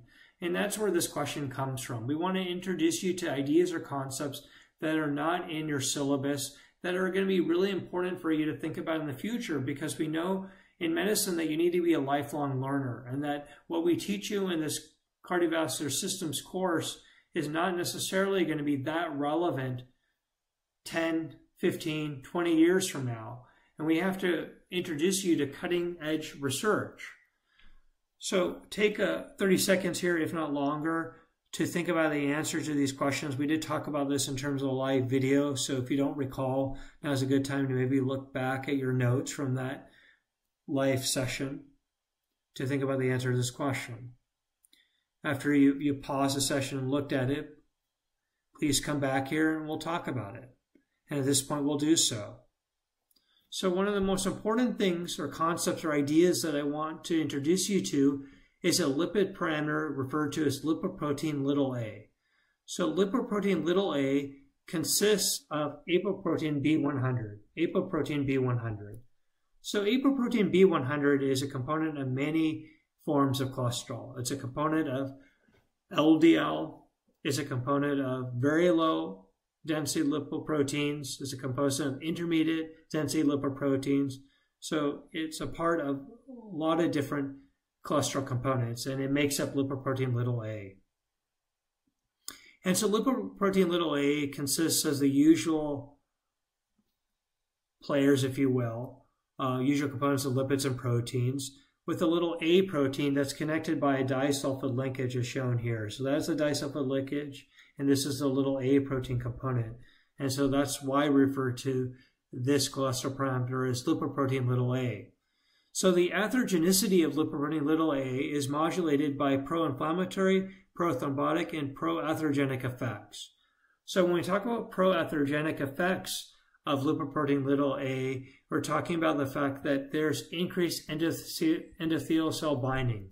So lipoprotein little a is going to bind the endothelial cell. And because it does that, it's going to be pro-atherogenic in that way. It also results in an increase in upregulation of adhesion mo molecules. There's also an increase in smooth muscle cell proliferation. There's proteoglycan matrix binding, an increase in that There's an increase in foam cell formation. So you'll remember how I mentioned earlier about how oxidized LDL or oxidized phospholipids are taken up by macrophages. When that takes place, what happens is foam cells form. Foam cells are an important component of plaque, particularly necrotic plaque. Necrotic plaque. So when you have an increase in foam cell formation, we have also an increase in necrotic core formation and also an increase in lesion calcification. That we know that different components of the coronary vessel can actually form osteoblasts and we can have calcium formation. Now, there are also pro-inflammatory effects of lipoprotein little a, which are mediated by the fact there's an increase in oxidized phospholipids. And there's also an increase in macrophage interleukin 8 expression. There's also an increase in monocyte cytokine release. There's also monocyte chemotaxis uh, as well. And then there's also a monocyte chemoattractive protein that's carried on it that has a pro-inflammatory effect. Now, in terms of prothrombotic effects, we have a decrease in plasminogen activation, we have a decrease in fibrin degradation, and then we have an increase in platelet responsiveness, which, as you'll learn about if you haven't already, uh, will really emphasize in the acute coronary, coronary syndrome lecture how an increase in platelet responsiveness is a real culprit in coronary thrombosis or atherothrombosis, I should say. So lipoprotein little a is an important mediator of atherosclerotic cardiovascular disease. I think this probably will not be on step one, but it's a concept or entity that you should be aware of that might slowly get into step one at some point in the future. Now let's talk about clonal hematopoiesis. So you might think, what does clonal hematopoiesis have to do with cardiology? So a mutation in a hematopoietic stem cell in the bone marrow, as shown in the top panel here, confers an expansion advantage that yields a clone of mutant leukocytes that appear in peripheral blood that's shown in the middle panel. So I'm going to repeat that one more time. So when we have a hematopoietic stem cell, it can undergo a mutagenic event, a mutagenic event. And then there's a clonal expansion that takes place such that there's a whole bunch of these cells in the periphery. And there are somatically mutated cells in the peripheral blood. So it's really important to understand the concept. Somatically mutated cells in peripheral blood. Now, two, two things happen, or two broad categories of things happen. There's a 40% increase in risk of cardiovascular disease, And that's because of the fact that this clonal hematopoiesis that takes place results in accelerated atherosclerosis. It also can result in thrombosis. And there are changes that take place that can also result in heart failure. So again, this together results in a 40% increase in risk of cardiovascular disease. What's interesting is that typically when we think about changes in terms of clonal hematopoiesis, we think about one being at risk for lymphoma or leukemia, hematologic malignancies. And what we find is that risk with this event taking place is only less than 1% per year. And so by and large, with this mutation that occurs in hematopoietic stem cells, we're resulting in atherosclerosis. This definitely won't be on USMLE step one.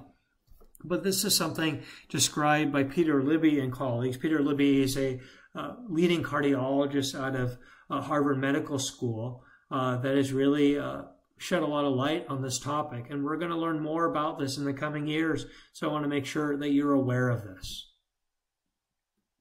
Now, last but not least is the idea of long non-coding RNAs. So long non-coding RNAs are actively transcribed genes that do not appear to code for proteins. Emerging evidence suggests that long non-coding RNAs serve as key regulators of atherosclerosis and related risk factors. So we're talking about how long non-coding RNAs really affect the plaque, so inside the lesion. So it affects immune cells. We know that coronary artery disease is an immune-mediated process to some degree. It also affects endothelial cells and endothelial function. We also know that it can cause an increase in smooth muscle cell proliferation. So long non-coding RNAs have a direct effect on the plaque. In addition, it can be associated with dyslipidemia, obesity, diabetes, hypertension, all culprits in atherosclerotic cardiovascular disease. I also want to take a moment to mention that on your course website, I've provided lectures to all these topics, including long non-coding RNAs, hematopoietic stem cells, and lipoprotein little a, uh, which will not be tested in this course, but at your leisure, feel free to expand upon what we've discussed briefly here. So now we're getting into more of the meat and potatoes of this actual lecture. So we're going to put physiology into clinical practice. So I have some questions for you to think about. First and foremost, what is the physiologic basis for myocardial ischemia in Mr. Aggie Davis? The next question, why does this patient only experience symptoms with exertion and not at rest? And last but not least, what are the major determinants of myocardial oxygen supply and demand? So these are really fundamental questions to this team-based learning session. They are also very much related to Dr. Amsterdam's lectures that he's given to you in terms of coronary artery disease pathophysiology and stable angina. If you're able to answer these questions comprehensively, it really shows to date that you understand the topics that we've discussed. So I want you to take five or 10 minutes to really think about the answer to these questions we briefly got a chance to talk about this in terms of the live lecture. Now here, moving forward, I'm going to discuss this in, in good detail in a way I hope that really solidifies what these questions are really having you think about in terms of pathophysiology. So again, I would pause the video for five or 10 minutes, think about the answer to these questions and return uh, to the video so we can go through these questions together. So at this point, I'm going to go ahead and do that. I'm going to go through the answer to the first question. So the first question, what is the physiologic basis for myocardial ischemia in this patient? A really fundamental, important question. So remember, when we think about the regulation of coronary blood flow, we first have to think about how the coronary vasculature works. So shown here are the two compartments of the coronary circulation. So we have the epicardial or conductance vessels. So that's like the left anterior descending artery, the left main coronary artery, the left circumflex artery, or the right coronary artery. And then we have the resistance vessels or the microvasculature, but we've been a little bit more specific. You'll remember in our first lecture, I referred to the resistance vessels as the prearterioles and the arterioles. and that's what's shown here. So at rest, we have normal microvascular tone. So at rest, we really don't need to augment coronary blood flow because of the fact that uh, we have normal microvascular tone. And so when we think about the red blood cell circulating from the epicardial conductance vessel into the prearterial, into the arterial, and ultimately to the capillary, at rest, there's going to be a good gas exchange to the ventricular myocyte. Now, what happens in a patient like yourself, a normal patient that's healthy, is that with exercise, we're going to need to increase coronary blood flow by three or four times so that when that red blood cell circulates from the or through the epicardial coronary vessel and ultimately to the microvascular and to the capillary, there's enough oxygen delivery to the ventricular myocyte because now there's going to be an increase in myocardial oxygen demand. And so to meet that demand, we have to have adequate supply. And so the question is, how are you going to have adequate supply? So to some degree, the epicardial coronary vessel is going to vasodilate, but the epicardial coronary vessel is not regulating coronary blood flow. It's not the resistance vessel the way the prearterial arterioles are. And so what's going to happen is that the prearterials and arterioles, they're going to really vasodilate.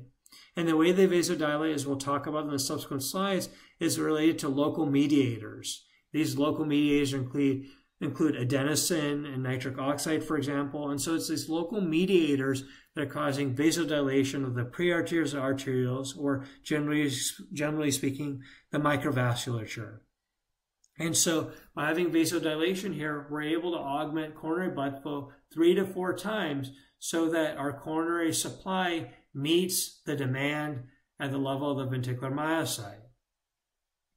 Now let's talk about Mr. Aggie Davis. Let's talk about a fixed stenosis. Let's talk about Mr. Aggie Davis having, for example, a 70% stenosis in the mid left anterior descending artery. Now, if we focus in on the epicardial coronary vessel, the left anterior descending artery, we know because we have plaque, this plaque now is going to impart resistance. So we know that there's going to be a pressure drop. So in this hypothetical example, the pressure drops from 100 millimeters of mercury to 70 millimeters of mercury. So the change in pressure here is 30 millimeters of mercury. And so what needs to happen at rest to make sure there's adequate delivery of the red blood cell through the left anterior descending artery and the microvasculature and ultimately to the capillary and the ventricular myocyte is that there's going to be some vasodilation of the prearterial and arterial at rest. And because there is vasodilation at rest, we're able to augment our coronary blood flow at rest to a degree that's adequate where Mr. Aggie Davis is not going to have any chest pain. Remember, Mr. Aggie Davis does not have any chest pain at rest, and this explains it. The fact, again, the microvascular is vasodilating to a degree where coronary blood flow is adequate in this scenario.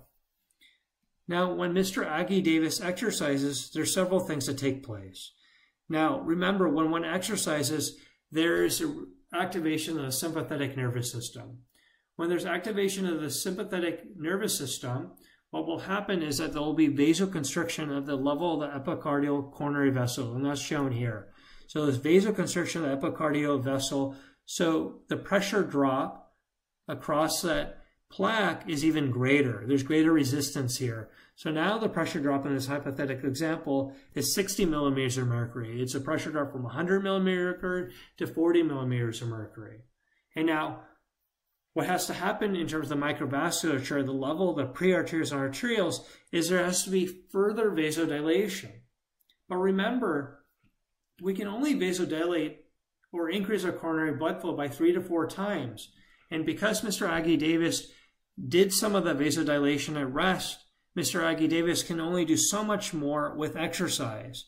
And because Mr. Aggie Davis cannot vasodilate such that coronary blood flow at the level of the microvascular is three to four times, what happens is that Mr. Aggie Davis starts to experience chest pain, but there, because there's inadequate supply for the demand.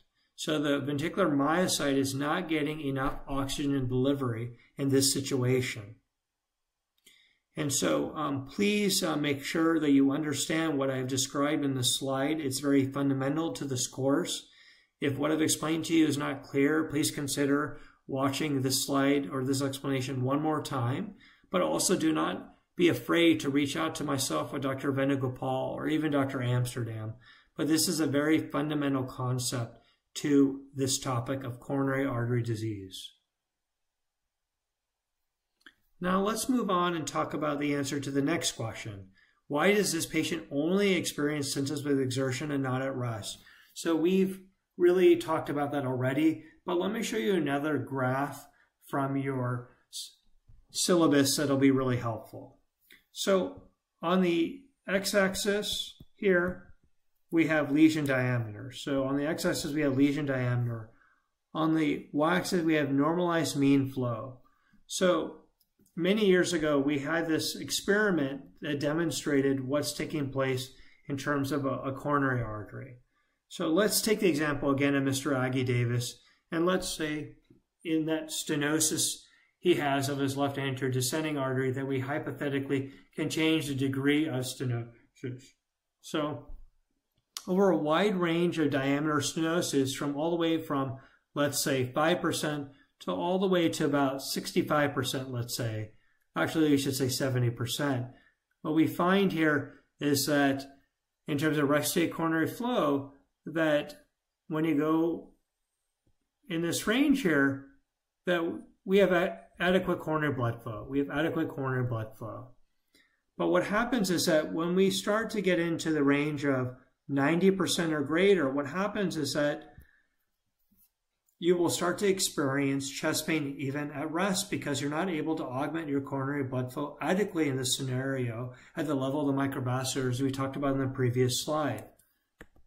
So again, in this region, so if we have a 20% stenosis, even a 60% stenosis, even at rest, we're able to augment our coronary uh, we're, we're, excuse me, even at rest, we're able to have adequate coronary blood flow. We're able to augment coronary blood flow in a way that there's really no change. But again, when we start to have a high grade stenosis, we'll even have chest pain at rest because we can't augment our coronary blood flow adequately even at rest. Now, when we think about Mr. Aggie Davis and we think about exercise and we think about a 70% stenosis, so we're specifically talking about Mr. Aggie Davis, and let's say we have a 70% stenosis.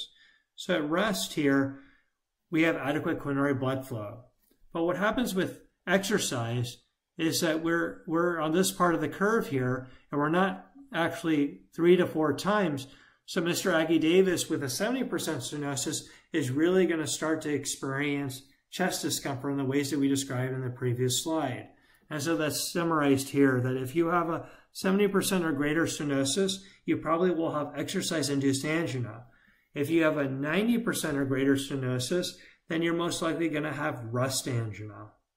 So again, really key uh, concepts here that we really wanted to get through, where we really want to emphasize that uh, when we're talking about rest over a wide range of stenoses, we're able to maintain adequate coronary blood flow.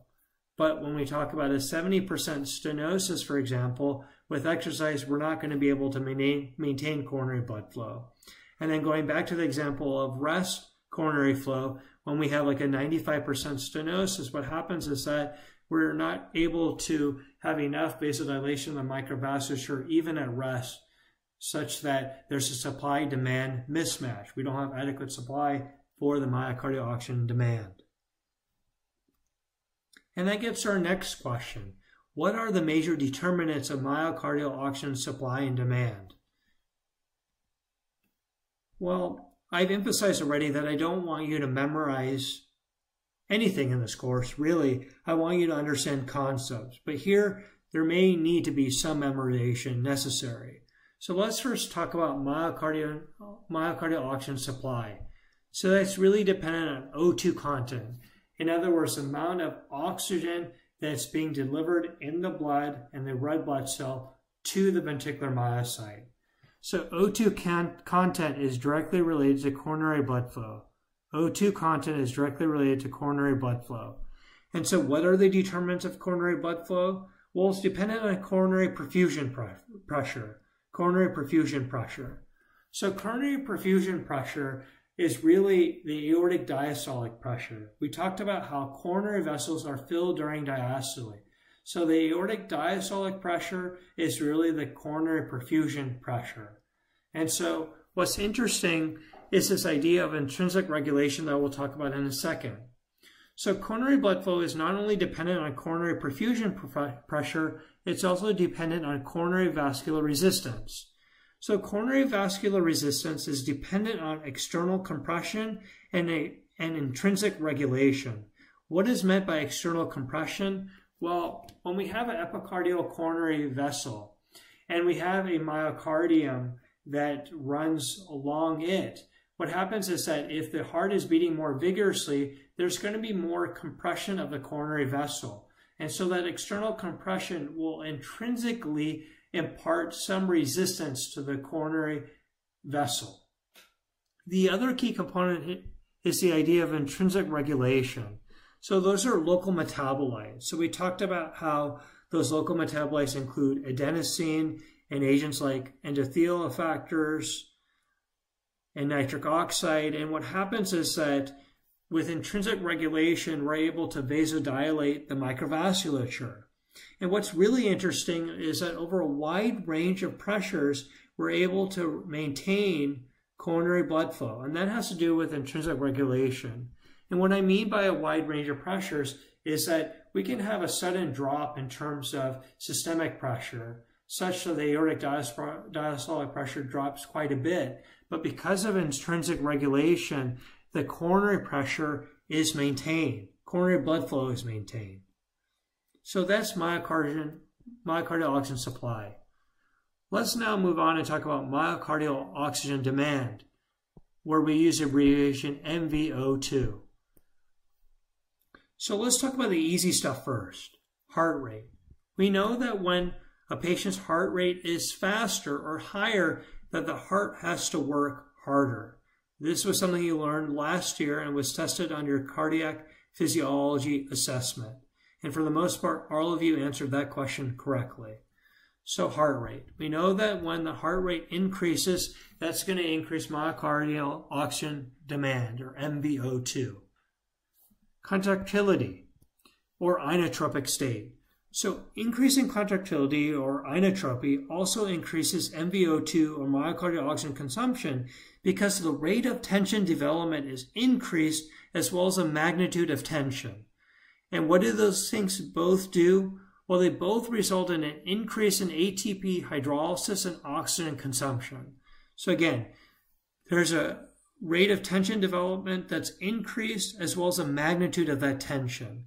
And that's how contractility results in an increase in myocardial oxygen demand. And then there's the concept of wall stress. So wall stress is really represented by Laplace's law, which I'll talk to you a lot about when we get to our heart failure lecture. Laplace's law is really critical in understanding wall stress. So Laplace's law says that the transmural pressure times the radius divided by 2 times the wall thickness is the wall stress. And so when we're talking about the left ventricle and thinking about it in terms of a cylindrical structure, Laplace's law is very applicable. And we know if we increase transmural pressure, that we can result in an increase in terms of wall stress. We know that if we, for example, decrease, excuse me, if we increase the diameter of the left ventricle, such as what happens with the dilated cardiomyopathy, a dilated cardiomyopathy, we're going to increase wall stress as well. We know if we have thinning of the left ventricle, which can also happen with a dilated cardiomyopathy, that's going to cause an increase in wall stress. And whenever we have an increase in wall stress, we're going to have an increase in myocardial oxygen demand. So, a really important figure as well that I really want to make sure you review before your midterm and your final exam, as well as step one, uh, because you will certainly have questions related to this topic.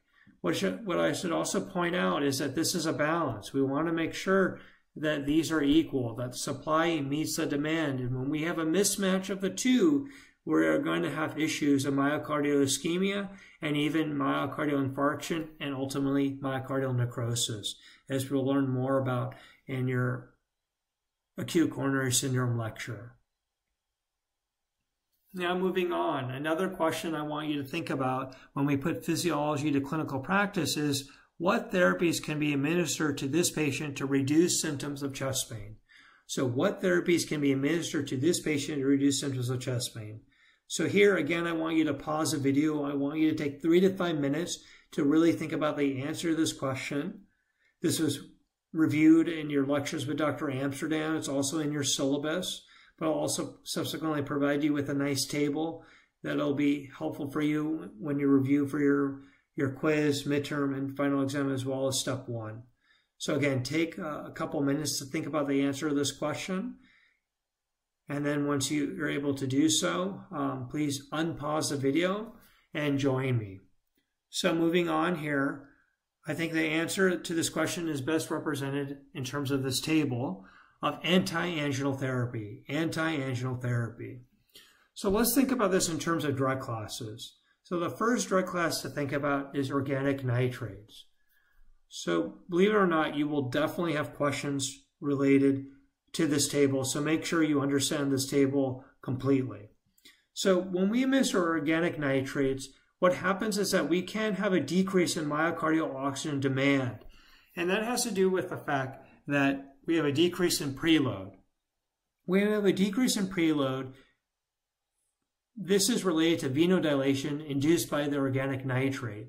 There's decreased myocardial oxygen demand, which is really due to the fact that we have a decrease in, in wall stress. Um, that's really going to help decrease myocardial oxygen demand, but specifically it's a decrease in preload. Okay, the other thing here is that there's going to be increase in oxygen supply. Why does that happen? Well, remember the organic nitrates are going to combat the coronary vasospasm. They're going to cause vasodilation. So there's going to be an increase in coronary perfusion and a decrease in coronary vasospasm. Together, that's going to increase oxygen supply. So remember, organic nitrates are anti-anginal therapy because they decrease myocardial oxygen demand, which is mediated by a decrease in preload. And there's also an increase in oxygen supply, which is related to the fact that there's an increase in coronary perfusion that's related to a decrease in coronary vasospasm. Let's move on now and talk about beta blockers. Actually, I'm sorry, before I do so, remember the adverse effects. Certainly, patients that are put on nitrates can have a headache related to vasodilation of the cerebral circulation. Organic nitrates also uh, have an effect in terms of blood pressure. They can cause hypotension. This is related to the fact that if we drop preload too much, that we will have a decrease in cardiac output. And the other thing is because of this decrease in preload, we may have a reflex tachycardia. So those are among the adverse effects for organic nitrates. Now, moving on, let's talk about beta blockers. So what beta blockers do is they certainly decrease myocardial oxygen demand.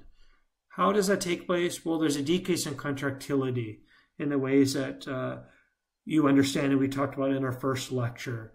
We talked about how um, beta blockers, uh, how they mediate, or, how the sympathetic nervous system really mediates sympathomimetic activity, as the name suggests. And so beta blockers block that effect. So there's going to be a decrease in terms of contractility. There'll be also a decrease in terms of heart rate. And there's also a decrease in terms of wall stress whenever there's a decrease in blood pressure. So I added this to the figure in your syllabus, the decrease in wall stress, because there's a decrease in blood pressure, there will be a decrease in wall stress.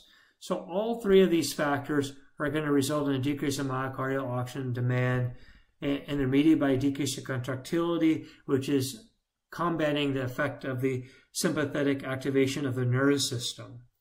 Now, what are adverse effects? Well, there can be AV nodal blockade, so we can have excessive bradycardia with beta blockers. In patients that have systolic heart failure, beta blockers can make things worse. You can have a decrease in, a further decrease in LV contractile function. So you want to think about that. Sometimes patients can have comorbidities such as asthma, and so bronchoconstriction can be a limitation of beta blockers. Sometimes we'll overcome that by using more selective beta blockers so that those patients don't experience bronchoconstriction. It may also worsen diabetic control. There are certain beta blockers that have less of that effect, but that's certainly a concern. We, we know when patients develop hypoglycemia, there's an activation of the sympathetic nervous system. And in that scenario, we don't want patients necessarily to, to not be aware of the symptoms. That can be very uh, concerning. We use the term hypoglycemic unawareness that we want to avoid.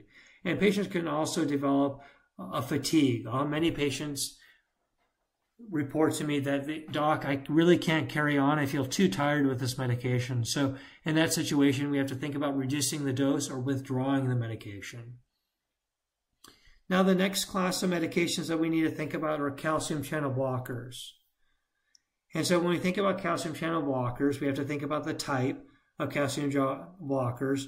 So we're really focused here on non-dihydropyridine receptor antagonists like diltiazem or verapamil.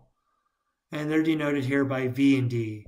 So verapamil and diltiazem. And again, these are non-dihydropyridine receptor antagonists.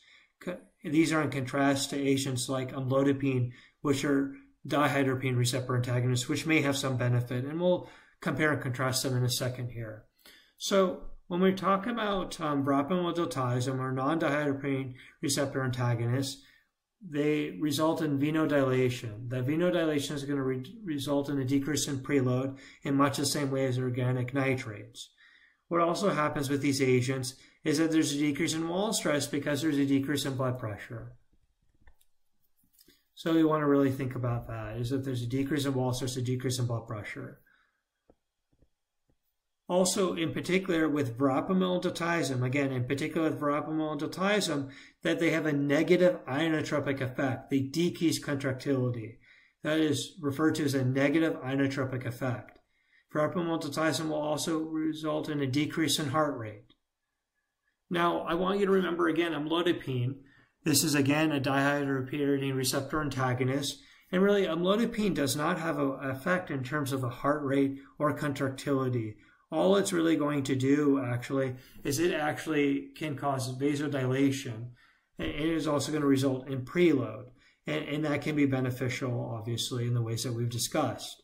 Now, there are a whole host of adverse effects associated with these medications. There can be headache, flushing. When we're talking about verapamil, diltiazem, there can be a decrease in LV contraction. We definitely want to avoid these medications in patients that have systolic heart failure, as we'll learn about. Um, these medications, diltiazem, can result in marked bradycardia. Um, they can also result in edema, but this is especially attributed to nifedipine and diltiazem and constipation. Constipation can be a real problem with these non-dihydropyridine receptor antagonists, particularly in the form of verapamil.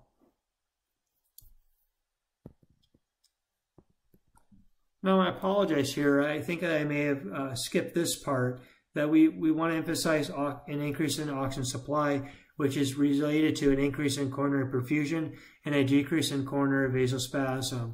And this is really the benefit of amlodipine. Amlodipine is really going to have this effect primarily, though amlodipine also decreases blood, blood, blood pressure. We think of it, I did talk about how it may decrease preload, but really amlodipine is more of an afterload reducer. It's going to have more effect on afterload than per se preload. Um, so it's going to decrease blood pressure, so it's going to decrease wall stress. So in terms of amlodipine, I would think less so in terms of its effect in terms of preload and more of its effect in terms of afterload. Now, another agent I want you to think about is ranolazine.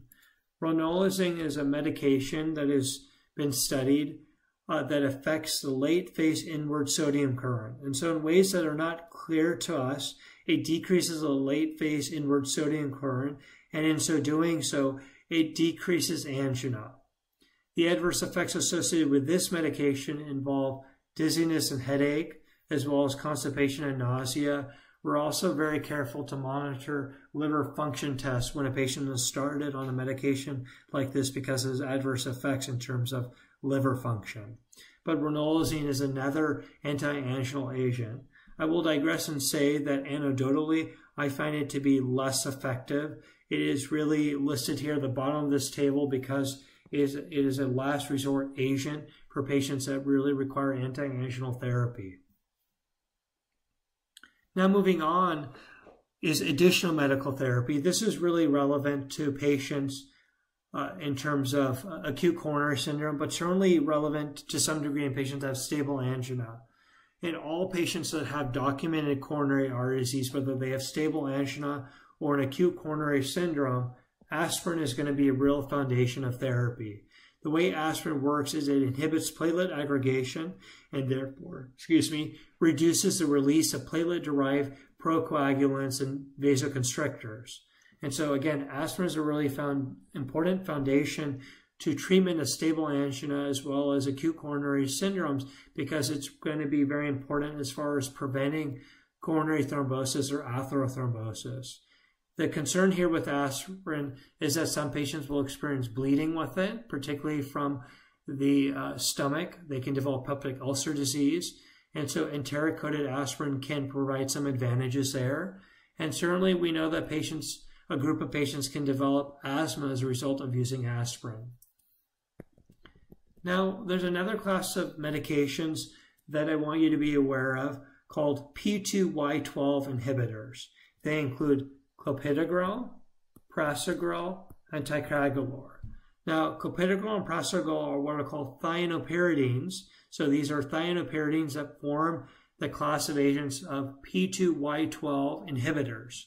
And so the P2Y12 receptor, or P2Y12 component, or the PY12, I should say, is a component of the ADP receptor. So more generally speaking, if you will, clopidogrel, prasugrel, and ticagrelor inhibit the ADP receptor, but they're particularly inhibiting the P2Y12 component of the ADP receptor. Ticagrelor is a CPTP inhibitor. I will spare you the long name associated with that. We'll stick to the acronym.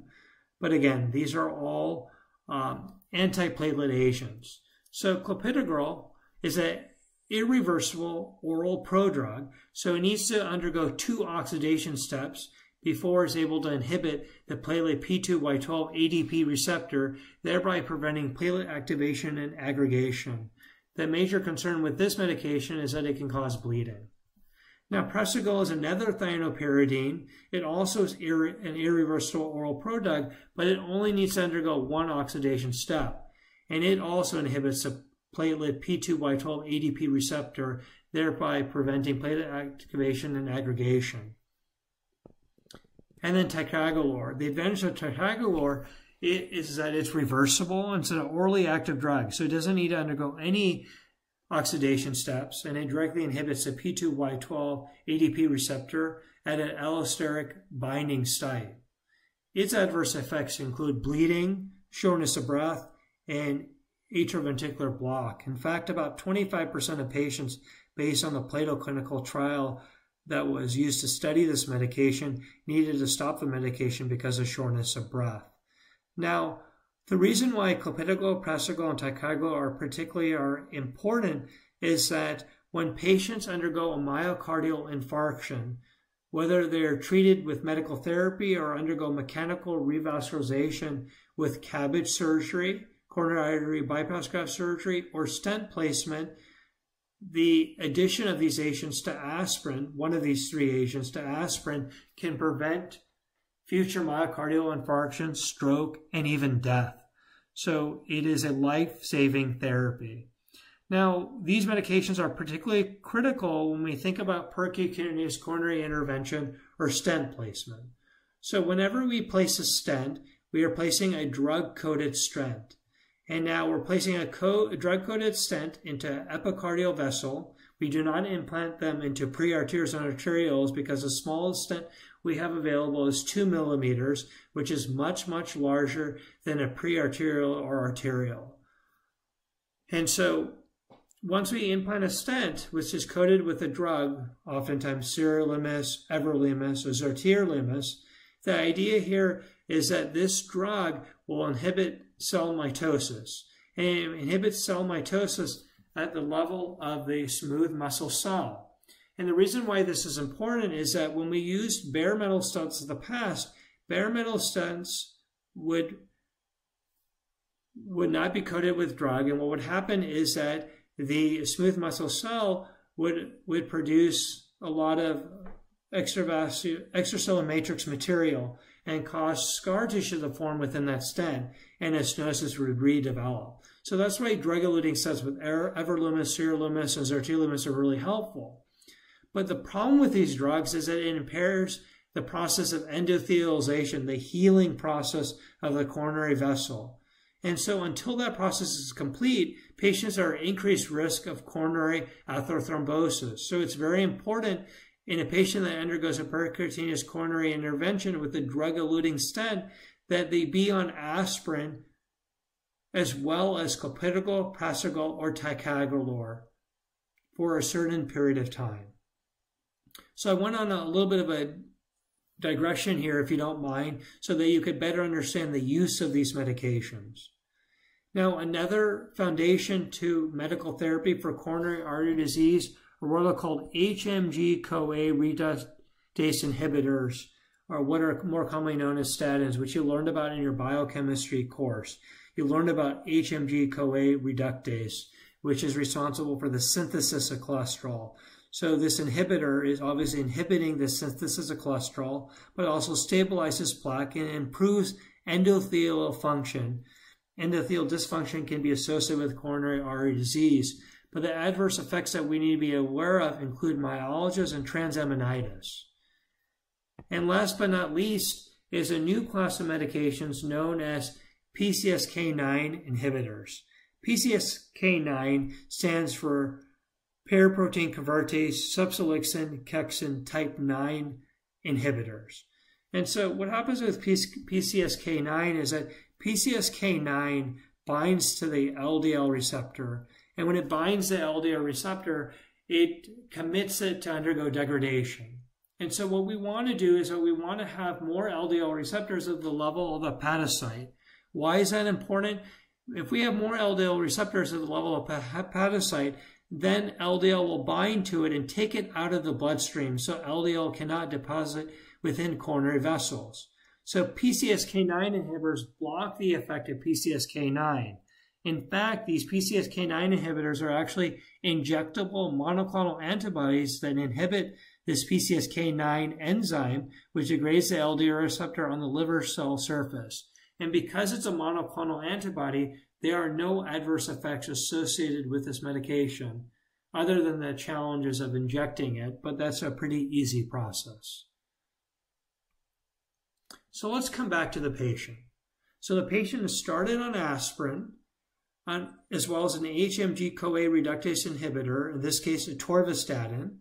The patient is also started on the beta blocker, referred to as metoprolol tartrate, and also started on organic nitrate, in this case isosorbide mononitrate. So this patient is on very good medical therapy. However, he has Canadian Cardiovascular Society class 3 angina and this high risk stress test, as we talked about. We talked about how there was involvement of the mid left anterior descending artery on his stress test, and there's a large amount of myocardium so tended by this vessel. So prognostically, there could be an advantage if we think about mechanical revascularization, but always we want to think about medical therapy, and that's why the patient was started on medical therapy. So shown here is a table of the different classes of Canadian Cardiovascular Society classes of angina. We have class 1, class 2, class 3, class 4. I will uh, forego reading through each of the different classes at your leisure. Feel free to review this. This is not something that's heavily emphasized in your course, but I just want to make you aware of the concept of different classes of angina, uh, which are really important in terms of randomized control trials. When we're looking at newer agents, we want to make sure we have inclusion criteria that are pretty appropriate and fair. This patient in particular, Mr. Aggie Davis has class 3 angina, despite being on a whole set of medications that are really appropriate for him that should have a really dramatic anti-anginal effect. So we might wonder that this patient may have failed medical therapy if he's still having Canadian Cardiovascular Class 3 angina. So another question in terms of clinical decision making, what should be done next? So if we we're in our live sessions, I would give you more time because your faculty facilitator would be able to, to help you explore the answer to this question a little bit more detail. In this case, uh, because you're on your own, I want you to take about 30 seconds and think about um, maybe family members, patients you've taken care of, perhaps in your clinic, or other instances or experiences you had about what happened when that individual had coronary artery disease. What did they undergo? So, Mr. Aggie Davis, what should be done next? Let's explore the answer to that question. So, forget about exploring it. Let's just say cardiac catheterization. I tease you. So, cardiac catheterization. This is a term to refer to a diagnostic coronary angiogram. So this would be a good option in a patient like Mr. Aggie Davis. So he had a stress test that suggested disease in the mid left anterior descending artery. He's very, very appropriately put on anti-anginal therapy as well as medical therapy for stable angina, coronary artery disease, and yet he's still having symptoms. So we have to think about some more aggressive measures because he's starting to, or he's, he seems to have failed medical therapy. It's not a, it hasn't been adequate for him. So he started thinking about doing a coronary angiogram, and that's what happened with Mr. Aggie Davis. So let's review his coronary angiogram together. So over here we have the RAO view. So this is a coronary angiogram that I performed in Mr. Aggie Davis. So I am a what's called radial operator. So I do procedures primarily using the arteries of the wrist. So using that artery in the wrist, we have a catheter that's engaged in the left main coronary artery as shown here. So a catheter engaged in the left main coronary artery, and we're injecting dye. And then we're able to create this image with what's called cinefluoroscopy. So this is the left main coronary artery, the tree trunk of the system, left main coronary artery.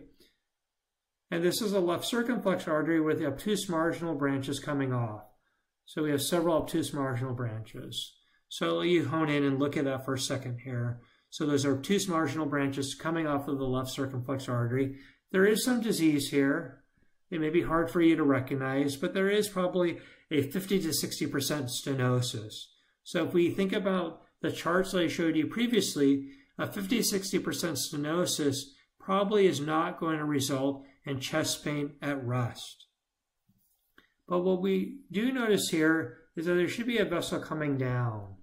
And we don't see that because there's a stenosis here, and we'll see that a little bit better in subsequent views. So let's now pay attention and look at the RAO caudal view. So here in the RAO caudal view, we have again have that catheter from the arm engaged in the left main coronary artery. We have the circumflex artery. Now here we can see the stenosis in the obtuse marginal branch arising from the left circumflex artery. But here we can better see that there is a actually 100% stenosis in the mid left anterior descending artery where the artery should be coming down, and we don't see that. And it should be coursing towards the apical wall with diagonal branches coming off it as well as septal perforator branches. So we don't see that because there is an occlusion. I want to make it really clear to you when I use the term occlusion, that means 100% stenosis. When I use the term occlusion, that means 100% stenosis. If, if the degree of stenosis is less than 100%, then we'll say 90% stenosis, 70% stenosis, etc. So let's move on now and look at some more views in order to better appreciate what is occurring in the left anterior descending artery. So now again we have that catheter engaged in the left main coronary artery and we see the left anterior descending, the beginning part of it here.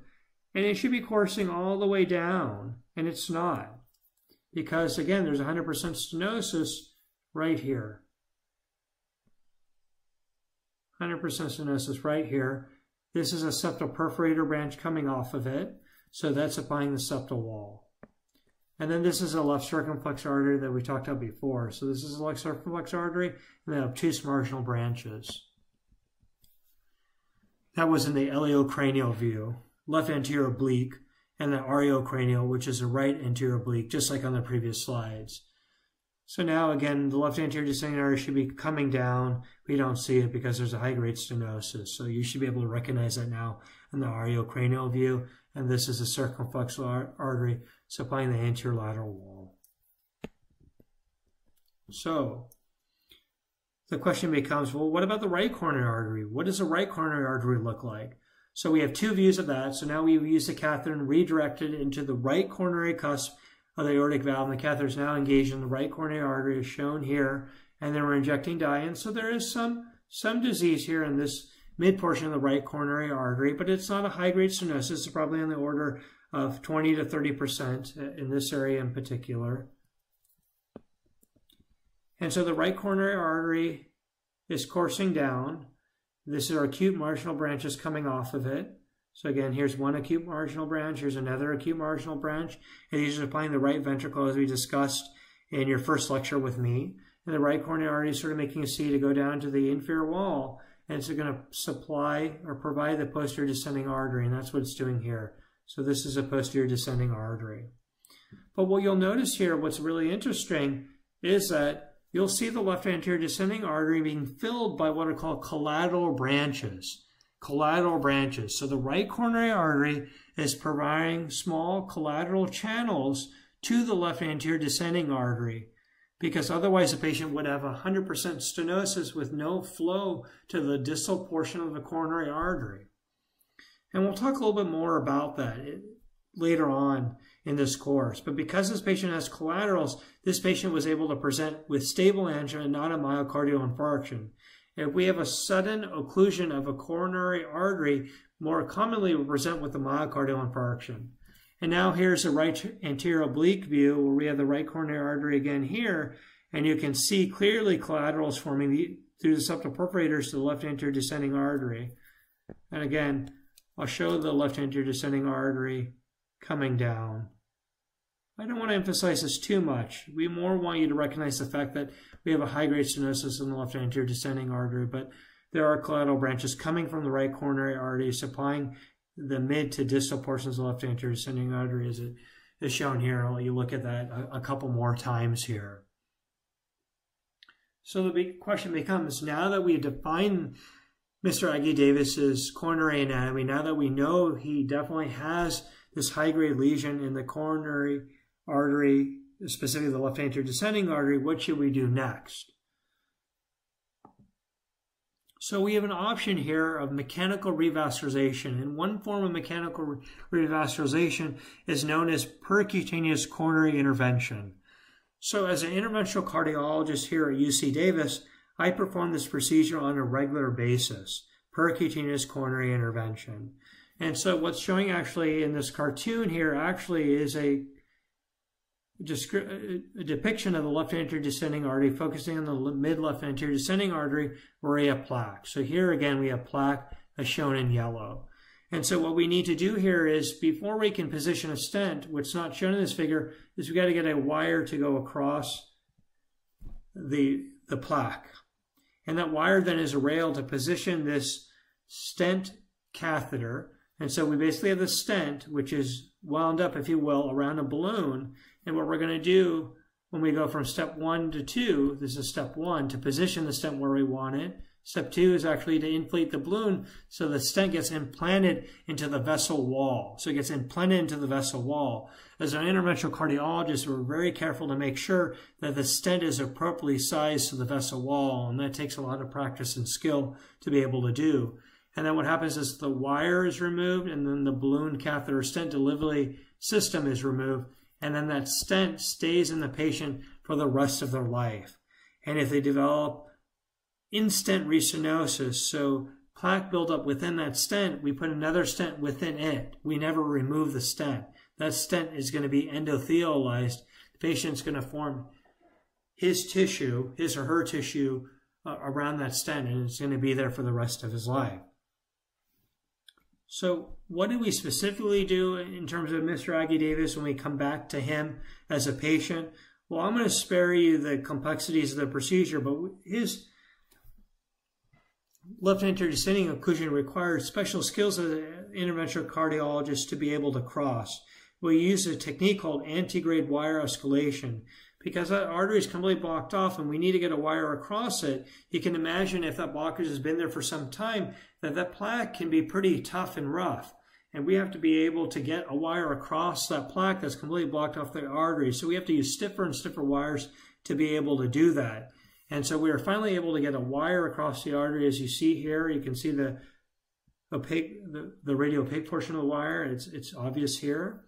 And we've gone in that across the blockage, which is up here. So I'll let that play out so you can see that. But more importantly, I want to show you how things look after you position that stent. So you might remember this left anterior cranial view. Now we have flow all the way throughout the artery. And I'll let that play a couple times so you'll be able to see that. So now this patient's anterior wall, apex, and to some degree the anterior lateral wall are now supplied by epicardial coronary vessels. And then this is a right anterior oblique cranial view, again showing the left anterior descending artery taking this course where it's coursing towards the apex of the left ventricle.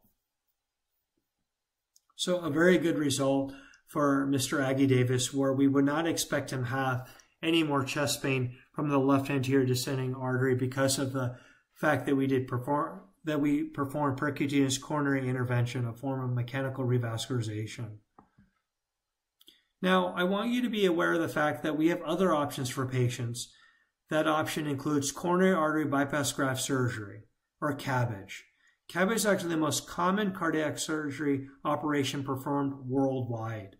CABG surgery entails grafting portions of a patient's native blood vessels to bypass obstructed coronary arteries while the patient is put on a coronary pulmonary bypass machine.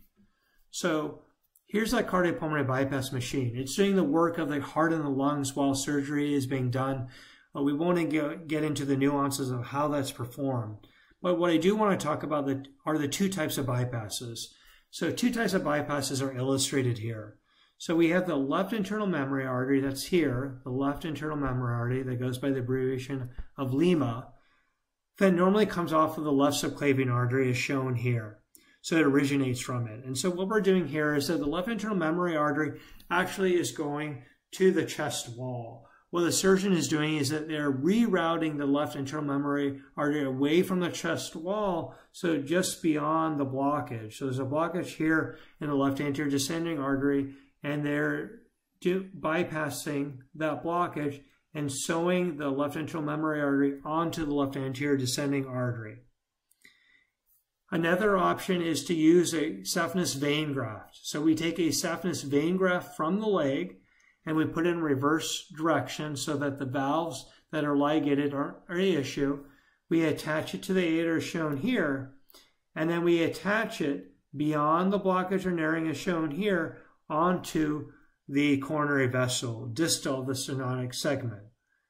And so this would be an example of a two-vessel coronary artery bypass graft surgery.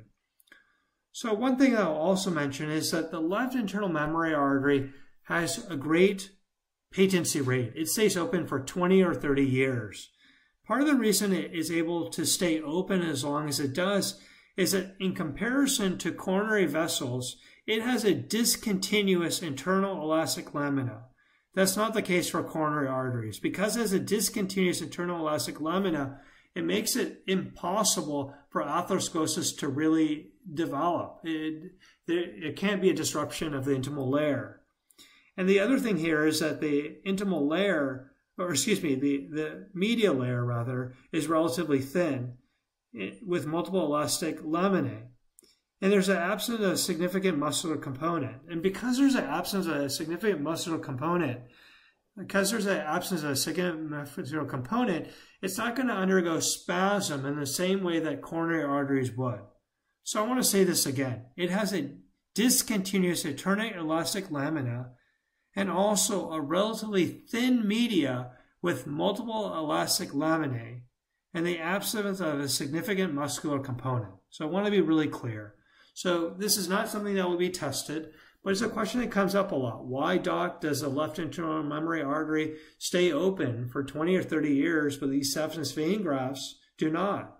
And that's the biology or vascular biology behind it.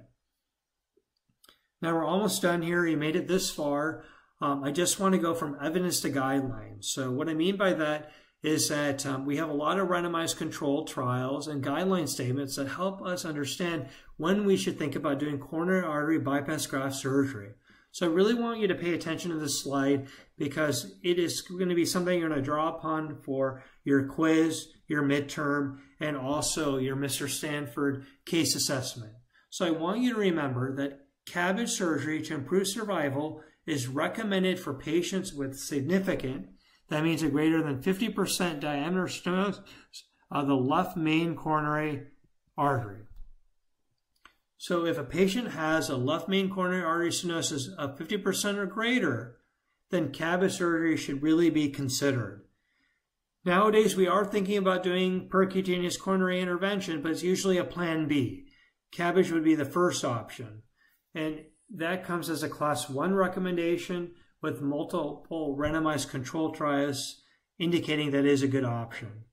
Now, the other scenario I want you to be aware of where you should think about CABG surgery is as follows. So, CABG surgery should really be thought of when a patient has a significant stenosis, that means 70% or greater, and three major coronary arteries with or without involvement of the proximal left anterior descending artery.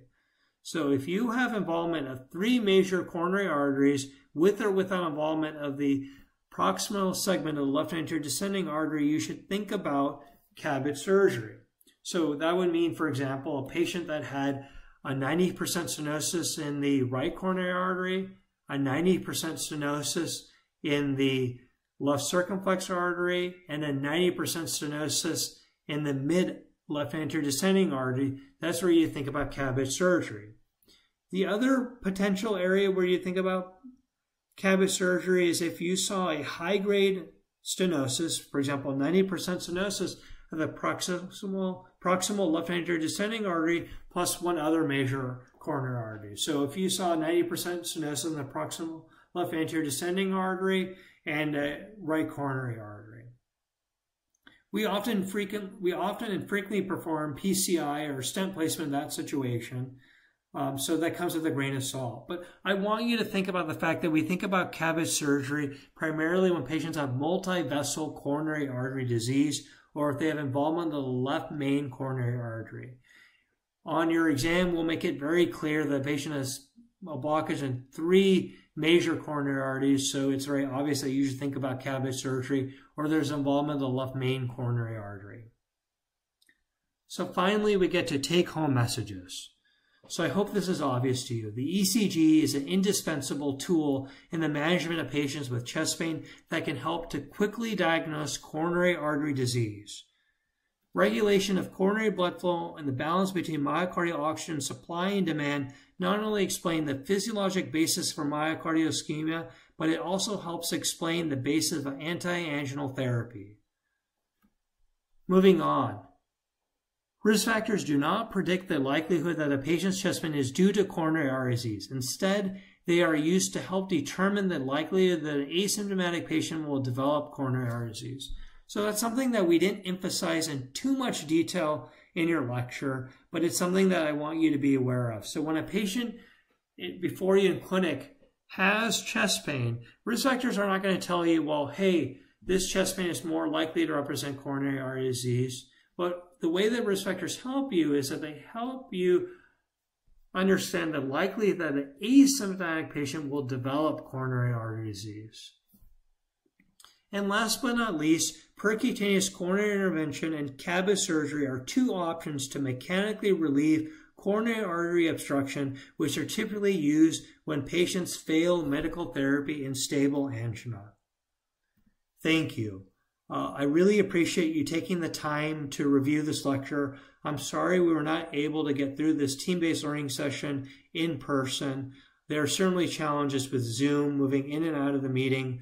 Again, I want you to review this lecture prior to your exams, primarily when we get to the question parts, so make sure you can go through it in detail. Uh, last but not least, I want to make sure that you're aware of my website, tinyurl.com slash ucdcards, which provides additional resources that might be helpful to you. Uh, again, uh, thank you for your attention and your time. I hope that you find this uh, to be a very helpful experience going through this team-based learning session in this way.